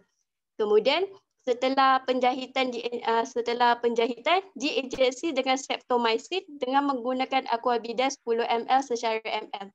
Tujuannya di situ adalah un, uh, untuk uh, mengatasi infeksi yang resisten terhadap penicillin dan uh, kita akan memberikan injeksi oks oksitotisin secara IM. Tujuan untuk oksitotisin ini adalah untuk membuang sisa uh, sisa kotoran dalam uterus cepat keluar dan selain itu dapat membantu uterus cepat kembali ke keadaan sebelumnya. Selain itu kita akan melakukan injeksi dexamethasone tujuannya adalah untuk mencegah inflamasi. Dan selanjutnya kita akan menggunakan injeksi multivitamin. Okey, uh, kegunaan untuk injeksi multivitamin ini adalah untuk membaiki balik sistem imun dan memperbaiki sel-sel rosak khususnya yang uh, pada sistem repo, uh, reproduksi. Dan yang terakhir, setelah tujuh hari kita akan buka balik jahitan dan diberikan oxytetracycline spray iaitu secara tropikal. Terima kasih. Baik, terima kasih Nora. Silahkan teman-teman yang lain untuk bertanya apa yang di terkait Nora, dengan... saya mau bertanya. Iya, Iren, silahkan. Uh, kalau prolaps uteri ini sendiri, faktor-faktor apa sih Kak yang mempermudah terjadinya uh, kasus ini? Uh, faktor predisposisi apa yang oh. menyebabkan prolaps uteri? Oke, baik Erina. Kak coba jawab ya. Kalau untuk paralysis uterus sendiri, salah satunya adalah disebabkan distokia, di mana kesulitan melahirkan yang menyebabkan cedera dan iritasi pada saluran reproduksi bahagian eksternal Selain itu juga dia akan kalau mengejang berlebihan selama persalinan atau adanya tekanan yang berlebihan pada saat menarik fetus keluar. Jadi itu juga boleh menyebabkan prolapsus uteri. Selain itu juga adalah disebabkan kurangnya nutrisi yang diberikan semasa sapi itu bunting sehingga menyebabkan keadaan ligamentum yang menggantung uterus tu akan menjadi kenduh, lemah dan tidak cepat kembali ke posisi uh, sebelum bunting. Gitu. Selain itu juga uh, petautan mesotari meso ya, mesomaterial yang panjang juga mempengaruhi dan uterus yang lemah dan relaksasi daerah pelvis yang berlebihan juga bisa mempengaruhi. Terima kasih. Oh, berarti tidak hanya kebuntingan kan kak ya uh, yang menyebabkan ya dia tidak hanya maksudnya dari oh iya baik terima kasih Nora yes. Oke baik. Terima kasih uh, Nora sama Iren. Berikutnya presenter tentang Mas Rasi. Silahkan Mas Rasi siapa yang akan menyampaikan? Silahkan share screen-nya.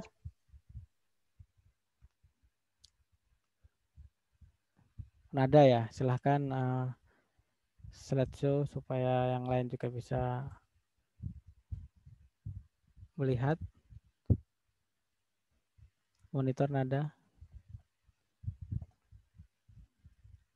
ya sambil menunggu silahkan nada untuk menyampaikan baik Bismillahirrahmanirrahim Assalamualaikum warahmatullahi wabarakatuh Selamat sore semuanya. Uh, saya Nada Nur Safana Ramadhani di sini akan mempresentasikan mengenai maserasi.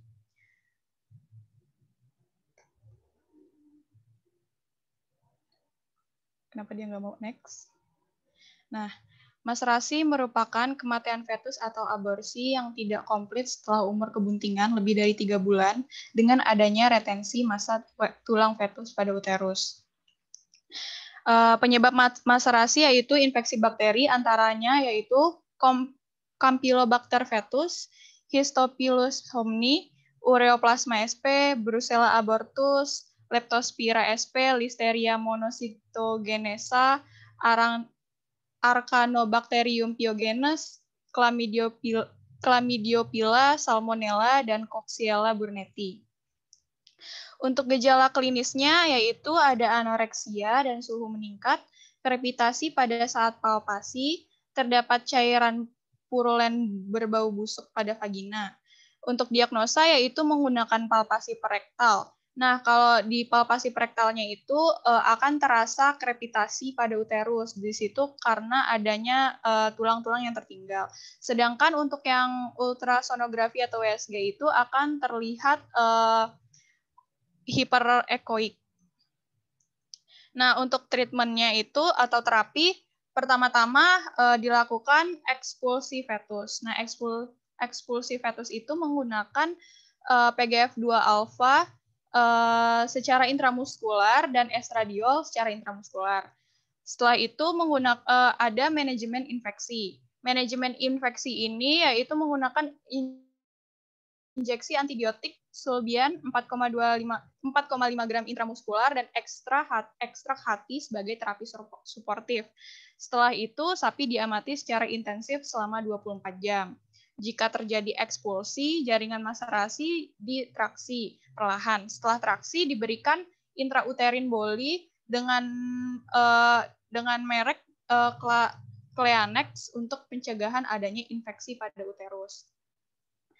Nah, setelah itu uh, menurut menurut jurnal yang saya baca uh, untuk pemberian PGF2 alfa dan estradiol itu tidak cukup efektif untuk mengeluarkan uh, sisa-sisa tulangnya itu. Jadi dilakukan histerektomi yaitu dengan pendekatan ventrolateral oblik kiri cocok untuk uterus yang terkontaminasi. Setelah setelah fetus berhasil keluar dan sisa uh, fetus, plasenta, dan tulang telah dibersihkan, dilakukan pembersihan pada rongga uterus dan rongga perut menggunakan larutan povidon iodin yang diencerkan.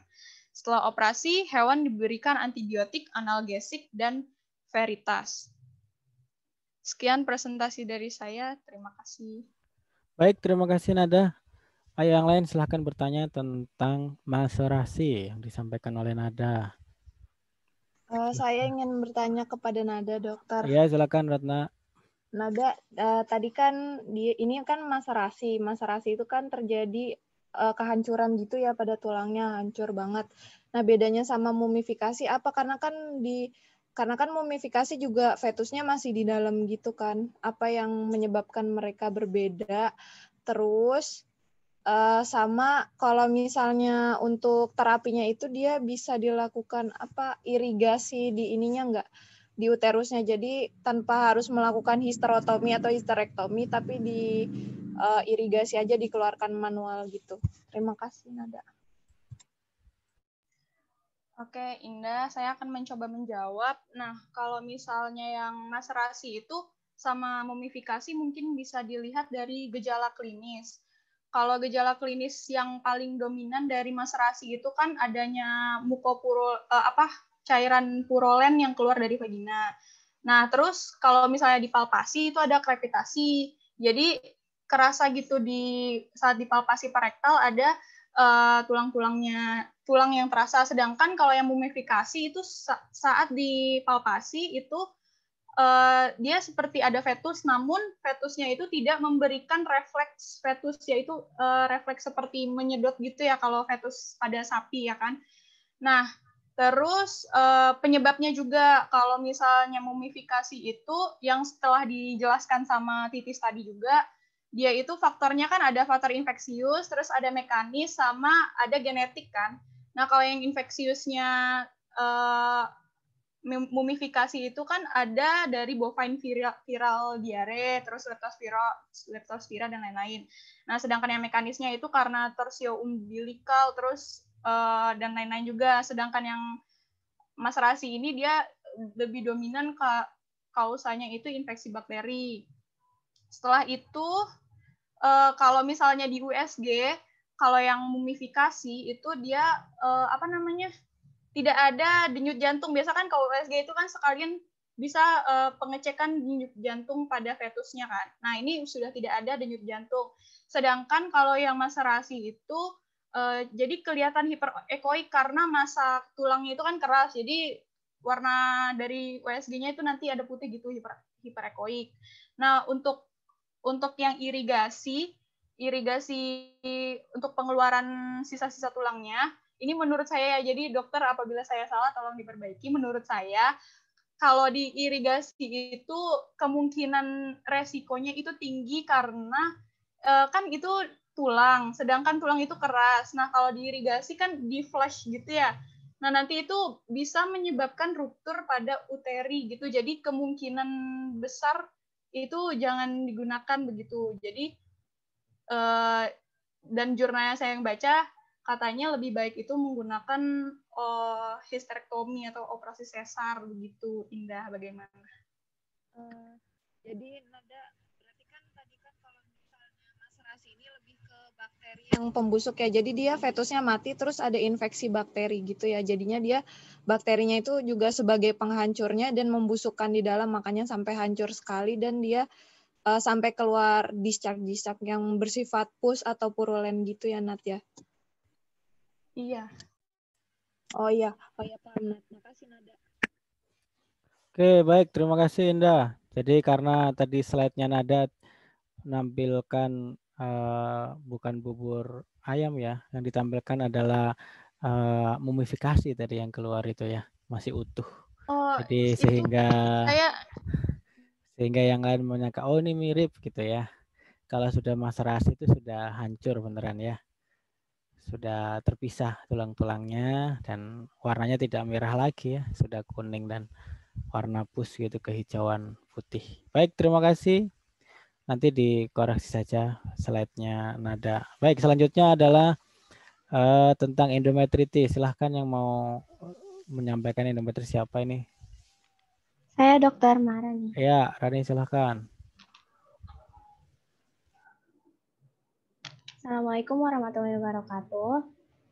Uh, pada kesempatan kali ini saya akan menjelaskan mengenai endometritis pada sapi.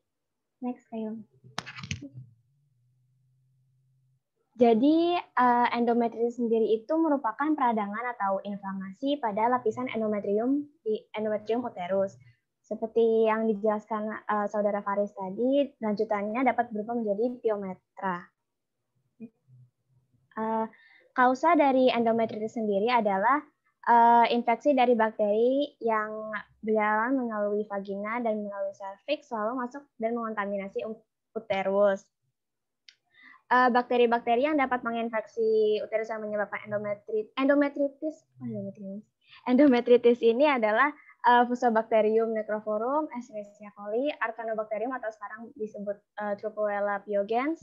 Dan uh, keparahan dari endometritis sendiri ini tergantung pada uh, apa namanya uh, patogenitas bakteri, uh, jumlah bakteri yang ada, dan juga ketahanan tubuh tubuh hewan saat terinfeksi oleh bakteri tersebut.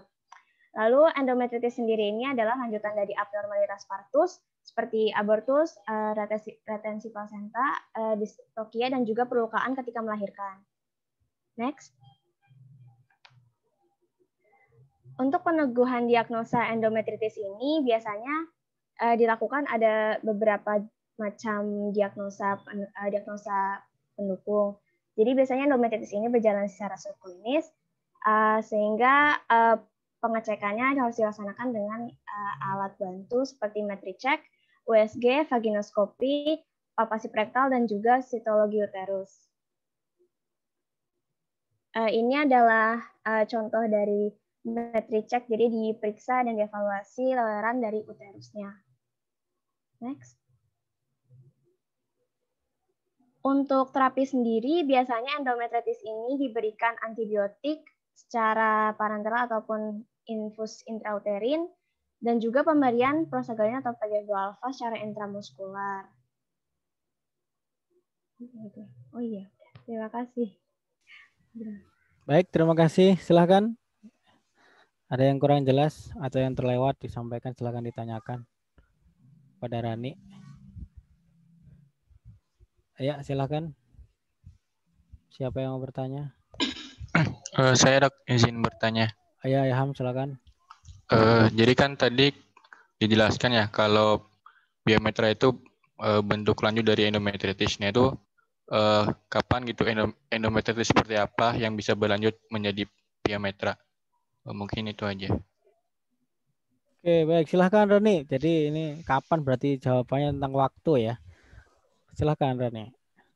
Kalau dari yang saya ketahui itu kan uh, jadi uh, endometritis ini dengan piometra sebenarnya kalau sudah uh, semakin uh, bedanya itu kalau piometra itu dia ada nanah ya dok ya dia sudah pu, apa uh, vaginal discharge-nya itu atau uh, discharge yang keluar itu sudah berbentuk nanah. Jadi biasanya membedakannya itu dari uh, bentuk lele eh apa namanya discharge-nya itu dibedakannya dok biasanya. Yang saya tahu. Terus kalau misalkan seperti itu berarti kalau piometra karena sudah dia bernana dia berarti kalau infeksinya sudah berjalan kronis dan sudah cukup lama dia endometritisnya dok. Dia sudah terlalu lama dan tidak di, diobati secara tuntas mana ham nah, jadi kalau misalnya udah lama ya udah kronis gitu baru uh, apa selanjutnya piometra gitu ya udah cukup dok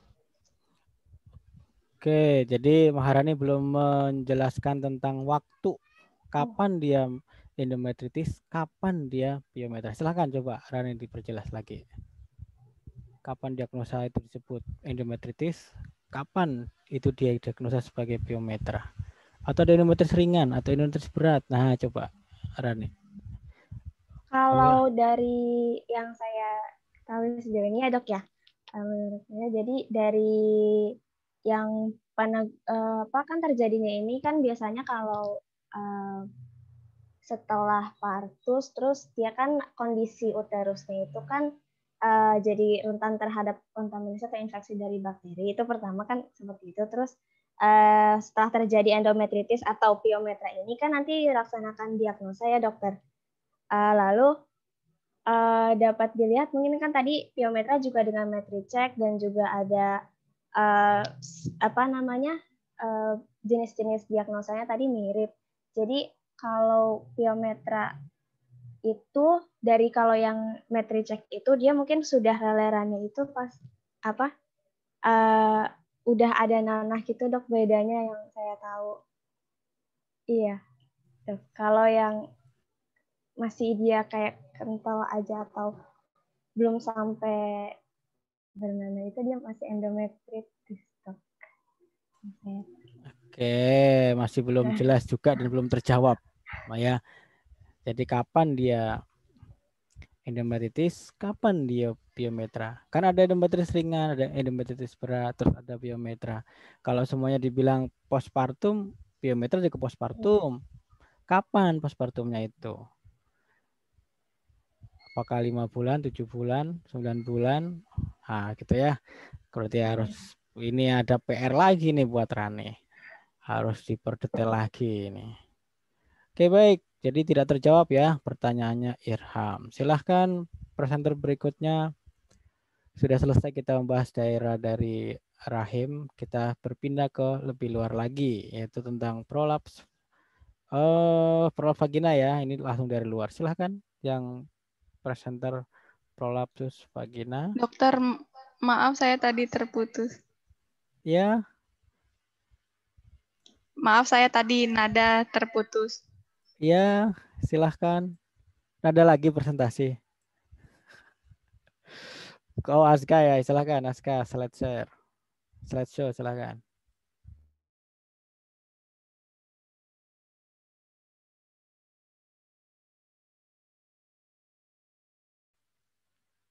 Silahkan slide show. Oh ya. Baik. Uh, Bismillahirrahmanirrahim. Assalamualaikum warahmatullahi wabarakatuh. Selamat sore dokter dan teman-teman. Uh, baik di sini uh, saya akan uh, menjelaskan tentang uh, gangguan reproduksi pada uh, yakni prolaps vagina pada sapi. Uh, definisinya itu sendiri adalah uh, prolapsus vagina merupakan berupa tonjolan uh, dinding vagina dan atau cervix melalui vulva sehingga mukosa vagina itu terekspos seperti itu. Kemudian uh, dari gejala klinisnya juga bisa dilihat uh, terlihat seperti uh, masa merah muda seperti itu dari jaringan uh, seukuran seperti jeruk besar atau bisa juga sampai seperti uh, bola voli seperti itu. Kemudian terjadi bisa terjadi sebelum sebelum melahirkan ataupun setelah melahirkan. Kemudian uh, pada umumnya terjadi pada trimester terakhir kebentingan atau sekitar pada umur 7 sampai 9 bulan umur kebentingan seperti itu. Kemudian uh, terapi yang uh, dapat dilakukan pada kasus uh, gangguan reproduksi vagina ini uh, yang pertama adalah uh, dilakukan uh, anestesi epidural dengan uh, lidocaine uh, 2%. Uh, ini uh, berkenan eh, berperan pada uh, mengurangi rasa sakit dari hewan tersebut, kemudian untuk mencegah uh, terjadinya kontraksi uh, otot kontraksi otot yang berlebihan ketika kita akan melakukan uh, suatu tindakan reposisi. Kemudian uh, selanjutnya uh, dilakukan reposisi uterus, uh, posisi vagina pada posisi normal, posisi posisi normalnya seperti itu. Nah, reposisi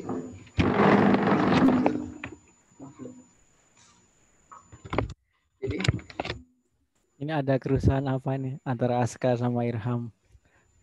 Mohon maaf.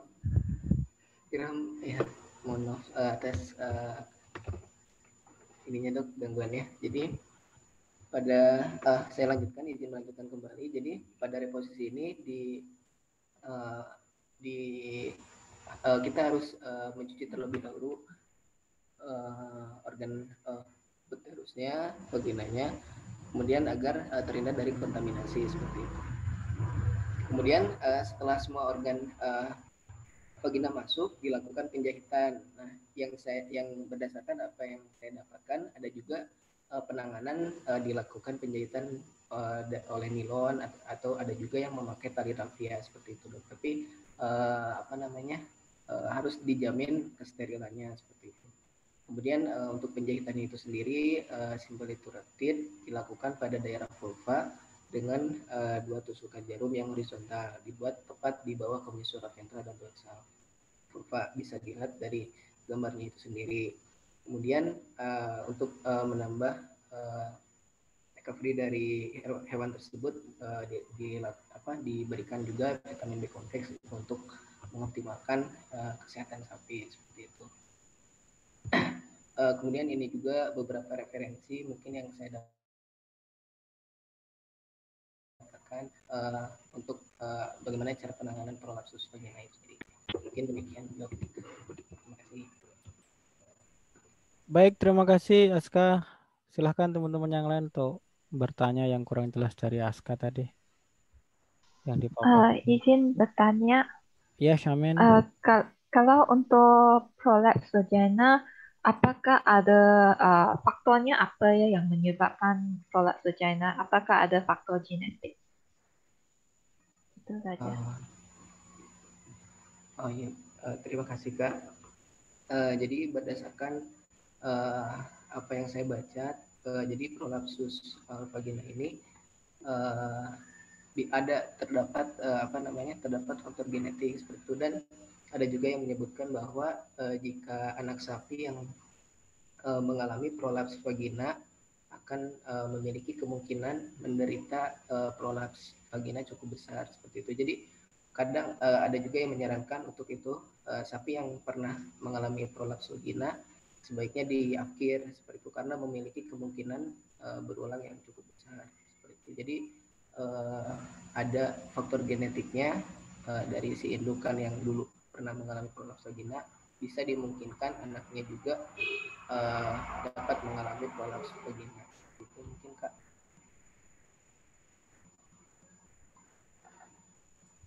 Mana Syamen?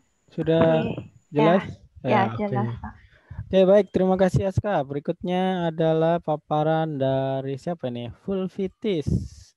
Pada pada vulva, silahkan yang mendapat bagian tentang vulvitis. Indah ya, oke silahkan Indah. Oh Bagas, operatornya Indah. Silahkan di slideshow, silahkan Bagas presentasi.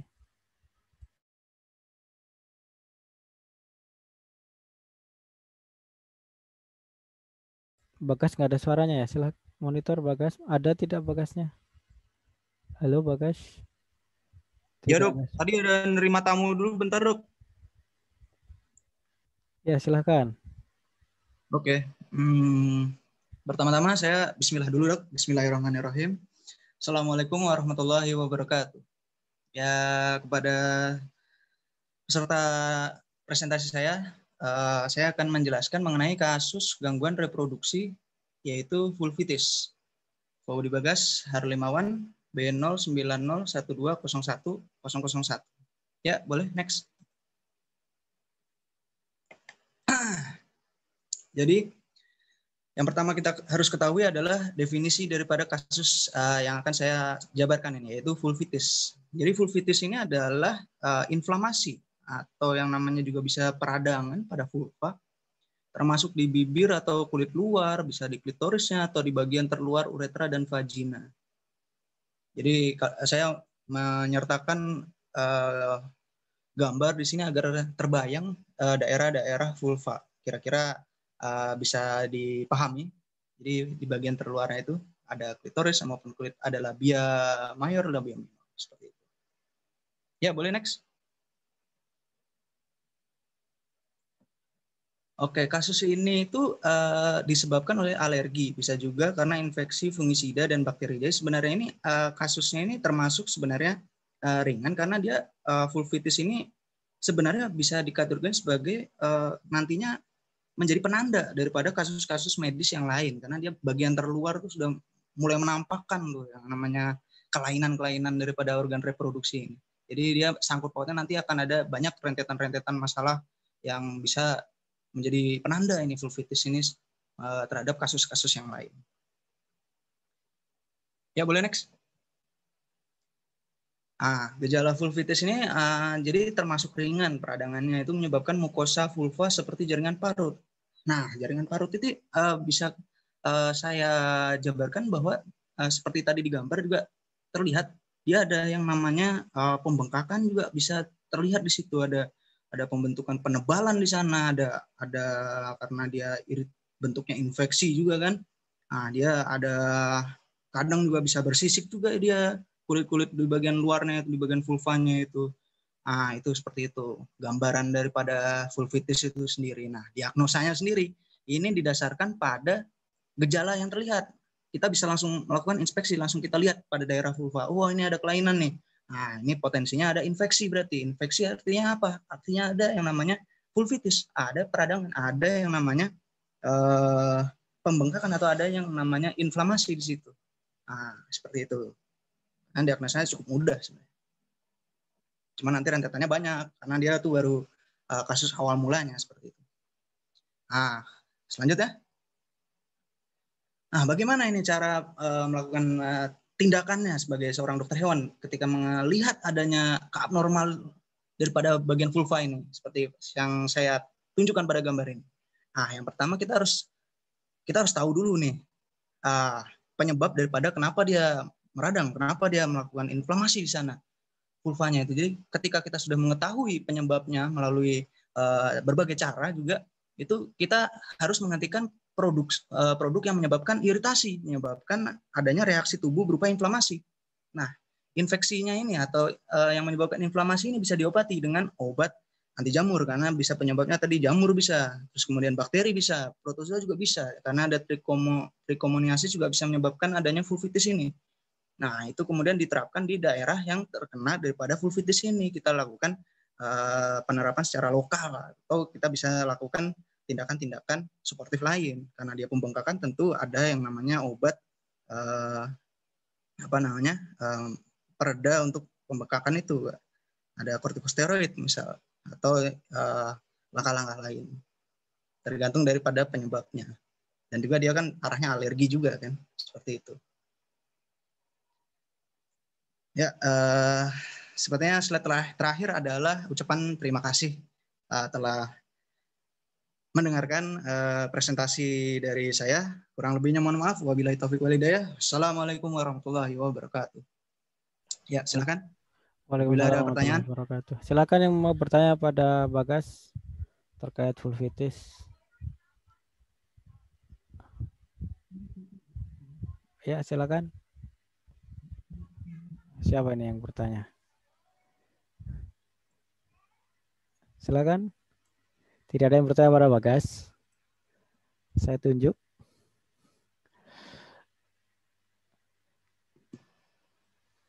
Ayah siapa?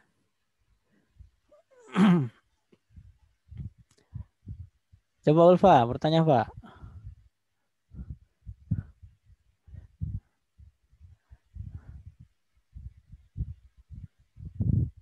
Belum ada suara. Sinyal dari Padang bagaimana kita dengarkan?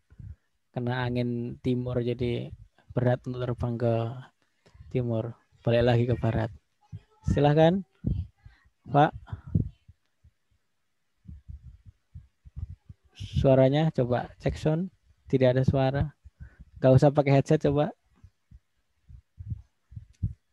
Sepertinya bermasalah di headsetnya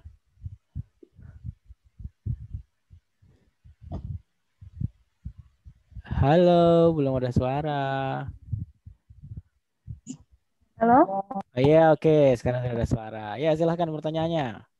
Uh, tadi kan dijelaskan lebih ke uh, penyakitnya. Kalau untuk uh, teknik diagnosanya itu uh, yang paling yang paling yang paling umum digunakan itu apa? Kemudian uh, selain dari melihat, maksudnya kan kalau vulvitis itu sebenarnya terlihat dari luar. Itu teknik yang teknik yang lainnya apakah ada? Terus uh, pengobatan uh, pengobatan yang biasanya di, terapi pengobatan yang biasanya dilakukan itu apa? Terima kasih. Ya silakan. terdengar, ya? terdengar uh, baik langsung saya saya langsung jawab nih dok. Uh, ini sebenarnya pertanyaan yang saya uh, sangat idam-idamkan karena sebenarnya saya pancing daripada diagnosanya karena saya kalau saya uh, jelaskan nanti takutnya waktunya terlalu panjang gitu. Ini pertanyaan yang sangat uh, saya idam-idamkan, sangat luar biasa, teliti sekali. Uh, jadi um, teknik diagnosa daripada vulvitis ini ya. Uh, pertama kita bisa lihat secara inspeksi kan. Nah, untuk bisa memastikan nih vulpitis ini penyebabnya karena dia penyebabnya beragam nih. Dia bisa jamur, dia bisa bakteri, lalu dia juga bisa uh, protozoa, banyak dia agen-agennya sehingga menyebabkan adanya peradangan. Nah, seperti itu. Jadi pertama untuk kita bisa melakukan peneguhan diagnosa ini adalah yang pertama kita lakukan adalah kita bisa melakukan teknik biopsi. Seperti itu. Jadi teknik biopsi ini kita mengambil jaringan ya di vulvanya ini gitu. Kita akan uh, kita amati penyebabnya ini apa seperti itu kita amati di bawah mikroskop seperti apa dia bentuk uh, infeksinya seperti apa ketika sudah bertemu dengan si agennya misalnya taruhlah jamur nah, dia penyebabnya jamur akhirnya dia mengalami iritasi vulvitis tadi nah tentu uh, terapi yang dilakukan untuk mengatasi jamurnya yaitu bisa menggunakan ketoconazole, miconazole dan banyak uh, antifungi antifungi yang bisa digunakan. Nah kalau misalnya ketemunya bakteri, ya ada antibiotik. Nah itu dia. Jadi antibiotik digunakan ketika kita tahu ini penyebabnya uh, dari vulvitis ini karena bakteri. Jadi sebenarnya langkah-langkah yang diterapkan dalam diagnosa ini sebenarnya untuk mengetahui penyebabnya apa gitu. Penyebab daripada infeksi peradangan ini di vulvitis, di vulvanya ini apa. Nah itu nanti uh, terapinya sesuaikan dengan uh, penyebabnya seperti itu. Jadi masih harus dilakukan uh, uji laboratorium ya ibaratnya jadi perlu diamati di bawah mikroskop ya seperti itu untuk mendapatkan sampel. Gimana Alfa? Tidak ada suara. Cek sound. Hanya gerakan aja. Sudah di oh ya. Oh, berarti tadi biopsi terus pengobatannya itu tergantung dari uh, penyebabnya begitu ya bang? Betul sekali. Terima kasih. Oke. Diagnostiknya kemahalan kalau vaginitis pakai biopsi ya. Karena iya. Yang paling murah apa, gas? Uh, jadi yang uh, paling murah ya karena infeksi ini biasanya uh, infeksi ini inflamasi jatuhnya jadi pembengkakan kita bisa uh, atasi daripada simptomnya itu dari pembengkakannya itu dengan kortikosteroid. Dexamethasone misal. Maksudnya diagnosa yang paling murah apa? Oh, Iya yang paling murah. Apa? Swab, dok. Swab, swab vagina ya. Oke, itu Irham kan pelitanya itu swab vagina. Oke, baik ya. Terima kasih. Berikutnya kita uh, lanjutkan presentasi tentang servisitis. Lebih ke dalam lagi. Silahkan yang bagian bagian servisitis. Tuh share uh, slide-nya. Iya Riko ya. Silakan kok eh, servisitis disampaikan oleh Riko iya. Nah uh, baiklah teman-teman.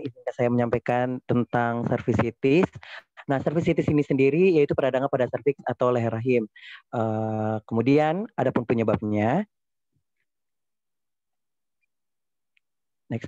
Adapun penyebabnya yaitu ada uh, trauma, trauma dari postpartum itu prevalensinya yang pernah saya baca 15 sampai 60 persen terhadap terjadinya uh, cervicitis ini. Kemudian ada trauma disebabkan oleh teknik inseminasi buatan yang sangat uh, tidak baik atau tidak uh, tidak benar gitu, tidak lega artis secara lega artis. Kemudian penyebab uh, berikutnya itu infeksi uh, sekunder seperti infeksi protozoa, infeksi virus, kemudian infeksi bakteri.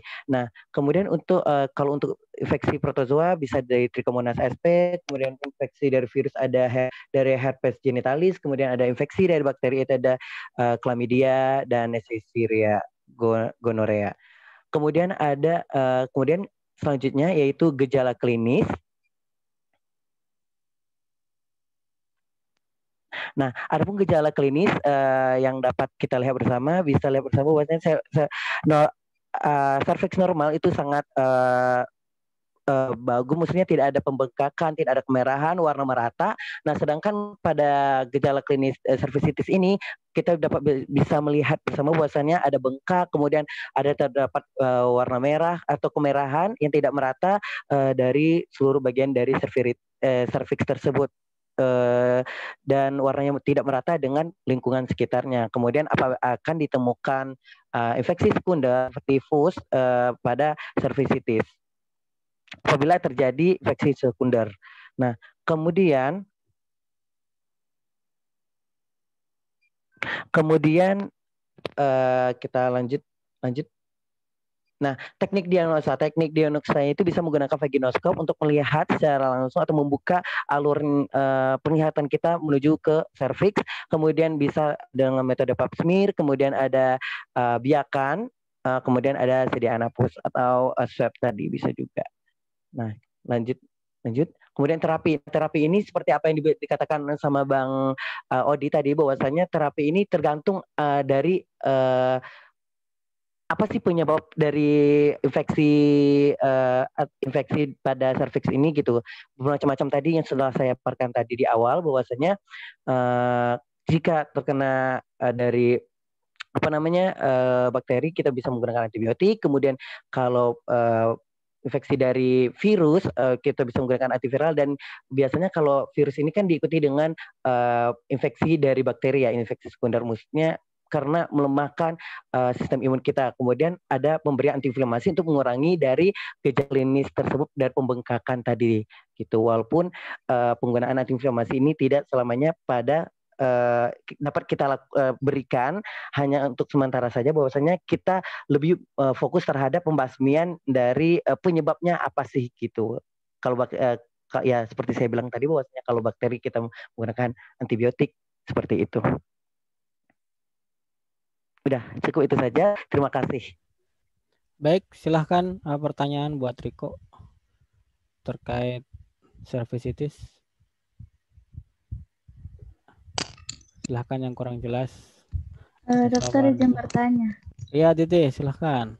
Uh, tadi kan disebutkan kalau dari gejala klinis yang disebabkan oleh infeksi bakteri itu terdapat pus atau nanah. Kalau uh, kalau infeksi infeksinya disebabkan oleh dari virus itu gejala klinisnya seperti apa dan untuk pencegahan dari ada dari penyakit cervitis itu apa ya? Terima kasih. Oke baik, terima kasih Titis atas pertanyaannya. Uh, tadi kalau untuk bakteri kita bisa melihat bersama bahwasanya ada fus ya. Nah kalau untuk uh, adanya apa namanya uh, infeksi dari virus bahwasanya nanti uh, di sekitar uh, atau di bagian serviks tersebut akan terdapat bisa terdapat uh, papula uh, papula bisa kemudian ada terbentuk papiloma atau kutil, kemudian ada luka, kemudian bercak, warnanya tidak merata, berbercak-bercak putih, kemudian ada terdapat lepuhan seperti lepuhan seperti itu. Maaf saya tidak menampilkan video apa fotonya karena saya tidak menemukan uh, dari infeksi uh, virus tersebut. Kemudian uh, tadi dipertanyakan bahwasanya bagaimana sih mencegahnya. Nah, bagaimana mencegah dari penyakit ini sendiri yaitu yang tadi seperti awal uh, ini bisa terjadi akibat uh, teknik inseminasi buatan yang sangat buruk. Nah, uh, berarti kembali lagi bahwasanya kita uh, cara mencegahnya yaitu kita sebagai dokter hewan itu uh, paling tidak kemungkinan melakukan inseminasi buatan ini dengan lega artis dengan semestinya. Kemudian uh, tentunya tidak kasar, uh, secara gentle. Kemudian ya benar-benar kita melakukannya dengan benar-benar tidak dengan gimana ya maksudnya tidak sembarangan gitu kalau bisa ya perlahan-lahan jangan terburu-buru sama waktu apalagi kan kalau kita uh, banyak misalnya pasien kita terburu-buru waktu uh, kemudian belum tepat uh, dengan di tiba-tiba udahlah di, dilakukan uh, apa namanya oposisi gitu nah kemudian uh, selanjutnya nah ini kan juga bisa ter, uh, terserang dari penyakit uh, yang disebabkan oleh virus yang terdapat pada kelamin si penjantan. Nah, uh, infeksi ini dapat dari kelamin jantan. Nah, dari sini kita bisa uh, memilih jantan untuk uh, dikawinkan gitu, tidak sembarangan. Seperti ya kita pemilih jantan uh, yang pernah kita pelajari bahwasanya ya perputihnya bagus, tidak ada penyakit-penyakit lainnya. Kemudian ada pada Uh, kemudian uh, pencegahan selanjutnya itu kan ini kejadian tadi 10% sampai 60% itu adalah penyakit pada postpartus gitu ya. Nah, di sini kembali lagi bahwasanya kita sebagai dokter hewan harus lega artis dan mungkin dalam um, pembant, uh, dalam proses membantu si sapi ini uh, contohnya sapi dalam melaksanakan eh, apa uh, setelah partus tindakan apa sih kita berikan. Nah, uh, tadi pernah eh, tadi udah disampaikan oleh teman-teman yang lainnya bahwasanya uh, pemberian antibiotik karena dari postpartum ini uh, sangat apa namanya sangat uh, rentan terhadap infeksi-infeksi uh, penyakit gitu. Nah seperti itu aja mungkin titis kalau kurang jelas bisa ditanyakan uh, lebih lanjut nanti saya akan infokan seperti itu. Terima kasih. Gimana titis pengobatan tadi? terkait virus oh, pakai ikon jempol gitu ya. Oke baik selanjutnya uh, terima kasih Riko dan uh, Titis. Presenter selanjutnya silahkan tentang vaginitis pada sapi. Silakan slideshow Irham.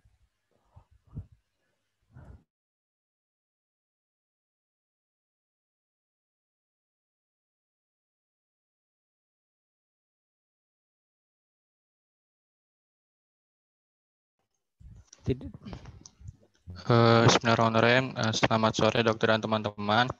Uh, di sini saya akan mempresentasikan mengenai uh, vulvovaginitis, tapi ini disebabkan oleh virus yang dinamakan penyakitnya infectious pustular vulvovaginitis. Nah, penyakit ini merupakan penyakit hewan yang menular yang disebabkan oleh virus bovine herpes virus tipe 1. Nah, pada uh, sapi, virus ini dapat mengakibatkan keguguran, kemudian penurunan fertilitas, dan bahkan kemajuan pada ternak. Nah, gejala klinis yang tampak uh, apabila sapi terinfeksi virus ini yaitu uh, adanya radang pada mukosa, vulva, dan vagina, kemudian timbul pustula yang menyebar pada mukosa, serta dapat juga keluar berupa leler, leler, leleran berupa mikropuluren. Nah, kemudian uh, untuk peneguhan diagnosanya sendiri dan penularannya, yang pertama ialah penularannya. Nah, penularannya itu uh, dapat melalui dua cara, yaitu secara vertikal maupun horizontal. Secara vertikal dapat melalui infeksi intrauterin, yaitu dari induk yang apabila terinfeksi uh, ke anaknya, ataupun secara horizontal, yaitu melalui semen yang tercemar pada saat proses inseminasi buatan. Nah, untuk teknik diagnosanya sendiri pada penyakit infeksius vulvovaginitis ini eh, dapat menggunakan ulas vagina, pap smear, kemudian vaginoskop, eh, kemudian isolasi virus untuk mendeteksi eh, penyebab virusnya sendiri, yaitu herpes virus. Kemudian untuk uji yang lebih lanjut untuk peneguhannya yaitu dengan menggunakan komplement fixed test. Nah, selanjutnya yaitu untuk pencegahan dan pengobatan. Untuk pencegahan penyakit ini sendiri yaitu dapat dilakukan dengan menggunakan vaksinasi, kemudian menjaga kebersihan dan sanitasi kandang, kemudian e, menjaga kebersihan selama proses IB, yaitu IB dilaksanakan secara lega artis. Dan untuk pengobatannya sendiri, e, karena ini e, penyakit disebabkan oleh virus, sehingga pengobatannya itu belum yang efektif belum ditemukan. Namun untuk mengurangi infeksi sekunder dapat dilakukan pemberian antibiotik dan vitamin. Uh, terima kasih. Uh, wassalamualaikum warahmatullahi wabarakatuh. Waalaikumsalam warahmatullahi wabarakatuh. Silahkan pertanyaan buat Irham terkait infeksi. Karena saya dok, saya mau bertanya. Iya, ya. Uh, tadi kan Ilham, eh Ilham, Ilham ini kan tentang vulvovaginitis ya. Terus tadi dijelaskan bahwa ada penularan secara horizontal, itu melalui semen tercemar. Berarti kan itu melalui pejantan ya dok. Nah, kalau misalnya penyakit ini, kenapa bisa ditularkan melalui pejantan gitu? Apakah uh, jawabannya sama? Eh, bukan jawab, maksudnya mirip dengan yang tadi materi Riko sampaikan, melalui pejantan bisa menyebabkan penularan penyakit atau seperti apa? Seperti itu dok. Terima kasih Ilham. Uh, baik, saya akan menjawab pertanyaan dari Datia. Jadi untuk virus ini sendiri itu eh, sebenarnya dia itu tidak hanya menyerang uh, ke betina, namun juga bisa menyerang jantan. Nah, namun penyakit ini itu pada jantan dia menyerang pada bagian uh, kepala penisnya. Dan untuk penyakitnya sendiri dinamakan infeksius balanopostitis, yaitu infeksi pada kepala penisnya. Nah, mungkin untuk kenapa dia bisa tertular lewat semen. Jadi pas saat pengoleksian semen gitu kan, kan dia lewat melewati penis ya. Nah, itu mungkin uh, saat semennya keluar itu dia tercemar uh, virus yang ada pada kepala penisnya sendiri. Uh, seperti itu, Dad. Hmm. Ya. Oh iya, baik. Berarti kalau misalnya apa eh, kawin alami itu bisa langsung dari penisnya tersebut berarti ya kalau seperti itu. Iya, kalau dari kawin alam bisa langsung uh, saat kopulasinya gitu, virusnya itu ditularkan dari uh, penisnya. Oh, iya. Seperti baik, itu, terima kasih banyak Irham. Ya, sama-sama Ditya. Oke, baik. Terima kasih Irham sama Detia. Uh, selanjutnya kita lanjutkan presentasi tentang cervical adenomyosis. Nah, saya dok. Ya, silakan. Dok, sebelum saya mulai, uh, saya ingin minta apa kebenaran untuk uh, presentasi dalam bahasa Inggris. Iya boleh, silahkan. Uh, mix juga boleh. bahasa Sunda tapi ya mixnya ya. English and Sebenarnya, dok, izinkan saya. Kenapa Ham? Enggak dok, lupa ke mute dok. Oh ya, oke. Okay. Silakan, Hilman. Uh, Assalamualaikum and a very good uh, afternoon. My name is Muhammad Iman bin and today I would like to be presenting about cervical adenomyosis. Cervical uh, aden adenomyosis uh, is a condition where the endometrium breaks through the myometrium of the uterus. It can happen along the whole uterus or localized in a certain area. Uh, in this case, is cervical aden adenomyosis. Cervical adenomyosis occurs when the endometrium of the uterus disrupt the cervical layer, uh, the cervical layer, the muscular layer. And the clinical sign of cervical adenomyosis are the same as pyometra. And the symptom shows are all asymptomatic, uh, which is it's not specific, and include uh, loss in appetite, high fever, uh, high fever within short duration, lethargy, and vaginal uh, purulent discharge. And for to further my uh, presentation, I would like to introduce the case that I found uh, during my research. A case about a 13-year-old Shiba Inu, female Shiba Inu, uh, by Tamada et al. 2005. The the Shiba Inu was brought in the in, brought in the clinic with a complaint of anorexia, vomiting, polydipsia, polyuria, and purulent bowel discharge. The doctor then proceeded with his diagnosis of physical examination, which shows the purulent vaginal discharge, and uh, with a CBC, complete blood count that shows leukopenia, and biochemical analysis that shows high uh, BUN and creatinine. The cytology of the exam, uh, the vulval discharge shows a high neutrophil uh, content and the presence of bacteria. USG of the caudal part uh, of the abdomen was done, and it is found that there's no, uh, there's no, there, there is an absence of fluid in the uterine horn, so that we can eliminate the uh, diagnosis, and a mass, a mass is seen cranial to the bladder. But for this case, what I found is that USG is not sensitive in detecting adenomyosis. And the other the other diagnosis that, that the doctor can can uh, can do is basically histopathology findings and of the uh, cervical layers or magnetic resonance imaging MRI scan. And this is a picture of uh, histopathologic uh, findings. As you can see, there's a cyst-like formation uh, inside the lamina propria of myometrial, uh, myometrial of the cervix. And this is an example of uh, MRI scan of, of adenomyosis in human. I cannot find the, the, the ones in dogs, so I'll show this one. And the therapy, the most effective uh, therapy uh, for cervical adenomyosis or adenomyosis in general is surgical removal through ovariohysterectomy, including the uterine cervix. And uh, from the uh, case report that I found, the findings in the uh, uterine cervix, the, the uterine cervix is thick with purulent uh, mucus and assists in the myom myometrial layer and no fluid in the uterine lumen but covered with coagulated blood. And the post-surgical treatment for this is amoxicillin 100 milligram uh, orally twice a day for 10 days. And the other method that, that has been uh, suggested by a couple of gynecologists, this is a human method. Uh, is hormone therapy, uterine artery embolization, and endometrial ablation. And that's it for my presentation. Thank you. Okay, thank you. Uh, Hilman. Oke, yang lain silahkan. Any question for Hilman? bertanya.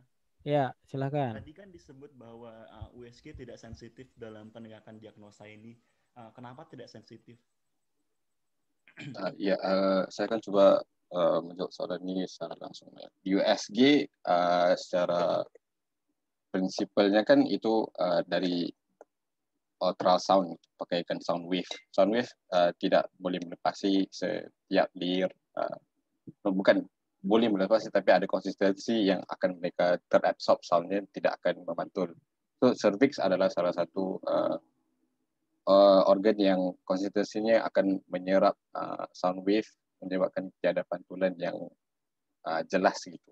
So makanya tadi yang kalau saya tunjuk dari MRI memang menunjukkan uh, image image yang jel sangat jelas daripada Sebenarnya gitu. Oke, jadi ini Hilman mix up uh, penggunaan ultrasound di human and di uh, small animal ya. Kalau di human soundnya kan terhalang oleh cervix karena pencitraannya menggunakan intravaginal ultrasound. Kalau di small animal kan apa namanya transcutaneous langsung directly dari abdominal wall. Jadi sepertinya mix up di sana. Jadi sehingga sensitivitasnya lebih rendah. Padahal ultrasound itu kan high sensitivity tapi non specificity-nya ya. Jadi spesifiknya rendah. Sensitif tapi tidak spesifik. Sama-sama besar tapi nggak tahu besar itu apa. Gitu man ya? Ya, Dok. Oke, Faris oke okay, bisa di ini kan? Ya, sudah. sudah. Oke, baik. Terima kasih Hilman dan Faris. Berikutnya presenter tentang Atresia vulva. Silahkan yang mau present atresia vulva. Titisnya ke mana, Detia? Uh, saya uh, minta tolong siapa yang tadi dipresentasikan ya. Harus pakai operator ini. Titisnya operator ya? Bukan dok, bukan.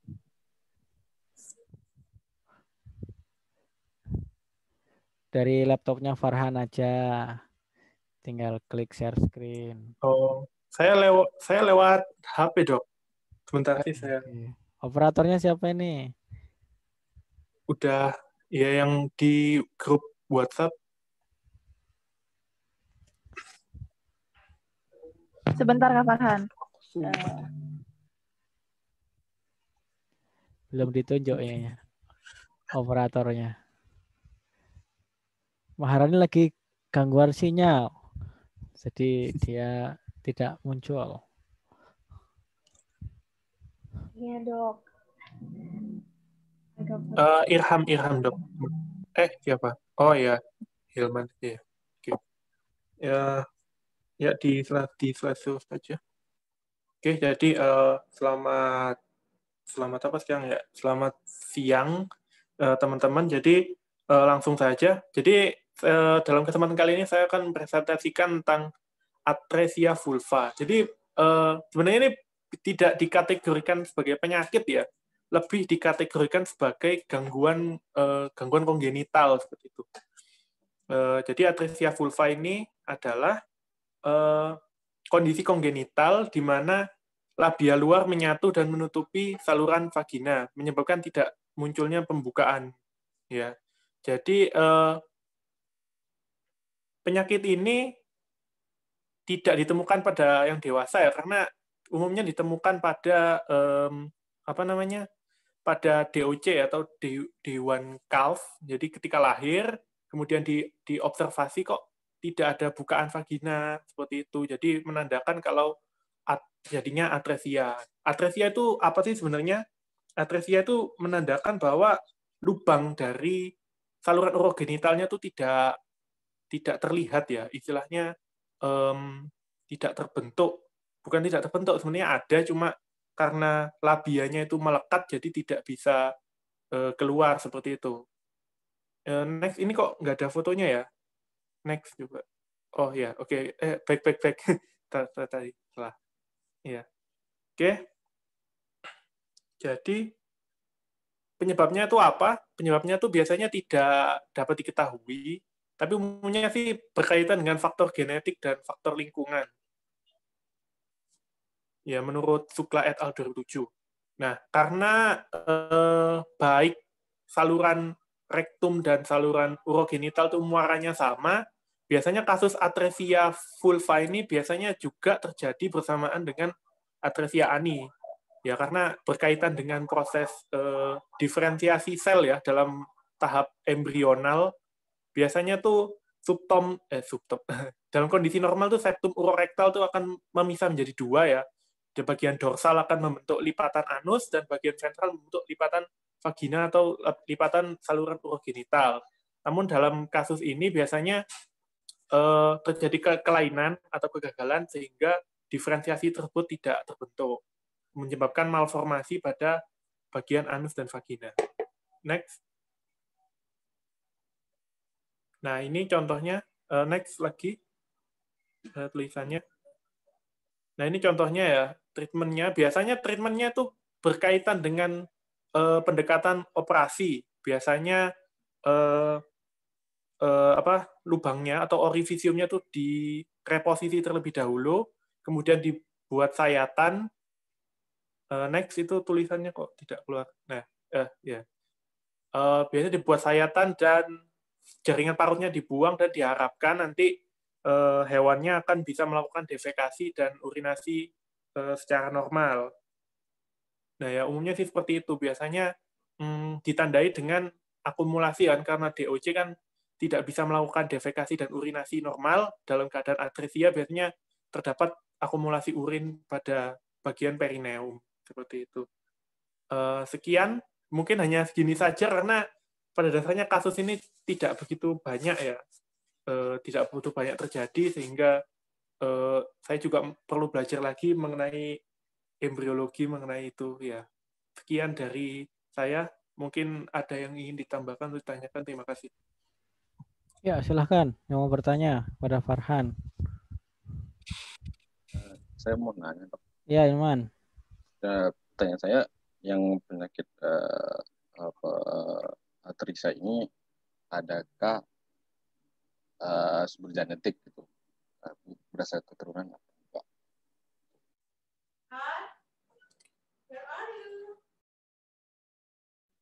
Iya, jadi uh, terima kasih atas pertanyaannya. Jadi untuk penyak, uh, gangguan atresia vulva ini kan merupakan penyakit uh, gangguan kongenital, artinya gangguan yang terjadi pada proses uh, organogenesis dan diferensiasi sel seperti itu ya dalam fase embrional, tapi dari jurnal yang saya baca ini penyakit tidak bersifat herediter, artinya tidak eh, apa namanya tidak melibatkan suatu gen tertentu atau ekspresi protein tertentu ya. Jadi eh, kemungkinan ya tidak tidak dapat ditransmisikan melalui eh, secara vertikal seperti itu. Tapi ini juga yang saya lupa mencantumkan di jurnalnya juga tidak mencantumkan bahwa apakah prognosa dari operasi tersebut bisa menyebabkan organ reproduksinya berjalan secara normal seperti itu karena yang parameter yang digunakan itu sudah bisa defekasi, sudah bisa urinasi itu sudah. Jadi tidak tidak dilakukan pengamatan lebih lanjut, mungkin ketika sudah dewasa kelamin apakah bisa koitus atau semacamnya jadi eh, eh, apa ya?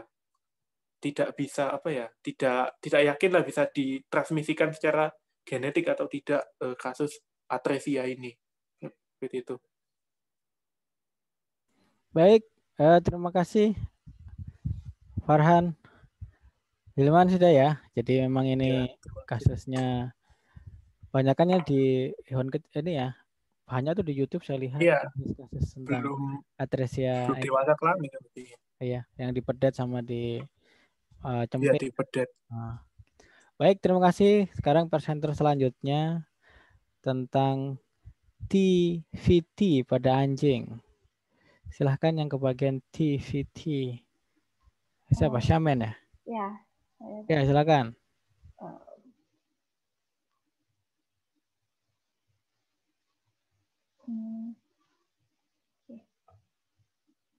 Eh, jadi TVT uh, TVT pada anjing itu transmissible venereal tumor.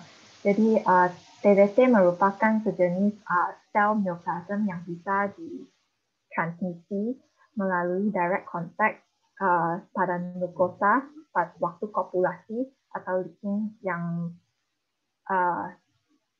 itu adalah cara transmisi penyakit ini. Uh, jadi di sini ada gambar contoh TBT pada seekor penis seekor anjing. Kalau cara diagnosanya adalah melalui physical examination dan anamnesa uh, anjing tersebut. Biasanya anjing yang ada masalah TBT adalah anjing yang belum di uh, spay atau kastrasi. Jadi uh, bentuk TBT itu akan se- seperti gambar yang ditampilkan di sini. Bentuknya seperti uh, mereka kata cauliflower shape, like nest. Uh, dan uh, kalau udah lama akan ulcerasi atau berdarah hemoragi gitu. Uh, biasanya anjing dengan masalah TBC akan ada genital discharge, akan sakit dan akan asyik uh, leak daerah yang ada masalah. Uh, selain itu, uh, sampel juga bisa diambil untuk uh, membuat histopatologi untuk diagnosa masalah ini. Jadi uh, sebenarnya dari hasil PA itu uh, TBT pada anjing itu karakteristik sebab uh, kalau nak terlihat uh, bentuk seperti ini biasanya adalah TBT. Selain itu kalau di lapang, kalau di lapang bisa membuat cytology, jadi mengambil impression smear dari daerah itu, buat staining akan terlihat uh, sel TBT. Jadi sel TBT itu dia uh, berbentuk bulat, round nucleus, uh, basophilic, dan ada bisa lihat ada wakul di daerah cytoplasmnya. Kalau untuk terapi TBT prognosanya sebenarnya baik. Uh, biasanya kalau diberikan terapi akan uh, tidak akan kembali penyakit ini. Uh, hasilnya se sebanyak 90%.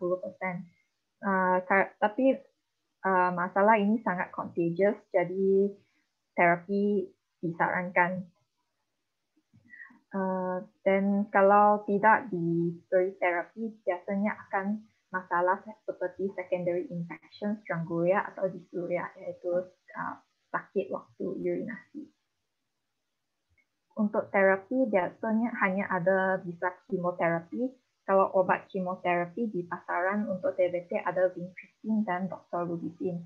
Kalau vincristine harus diberi uh, harus diberi setiap minggu selama 3 atau 8 minggu. Jadi uh, selama diberi dicek setiap minggu apakah sel TBT itu masih ada dan biasanya untuk setelah memberi vincristine selama 8 kali akan gak, gak ada tumornya akan dissolve. Kalau untuk kasus di mana vincristine itu tidak berhasil, bisa mencoba dengan doxorubicin. Kalau doxorubicin itu diberi uh, satu kali selama uh, 21 hari. Jadi diberi satu dosis, tunggu 21 hari dan diberi uh, satu dosis lagi. Nah, itu saja untuk TBC. Baik, terima kasih. Silahkan yang bertanya terkait TVT pada anjing ini. Pada Syamin, silahkan. Saya mau izin bertanya. Ya, Nora, silahkan. Syamin? Ya. To ask you about, uh, is it uh, surgery can be used as therapy for TVT? And selain uh, vagina and penis, uh, TVT boleh transmisi ke bahagian yang mana?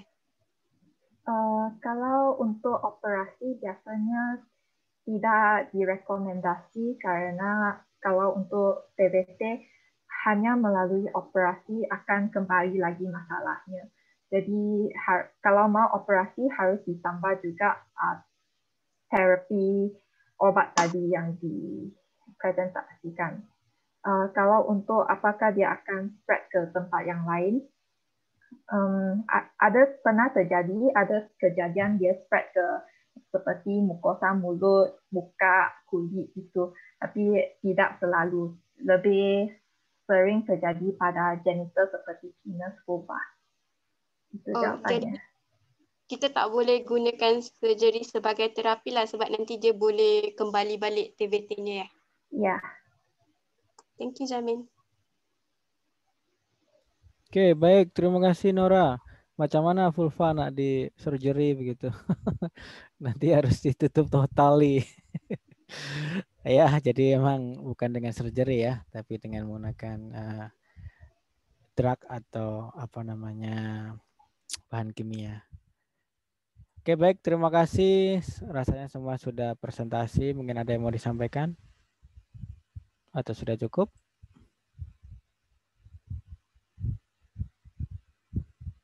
Tidak ada? Ini Farhan sudah jam 5 nih yang di sana. Dokter mau Ya. bertanya.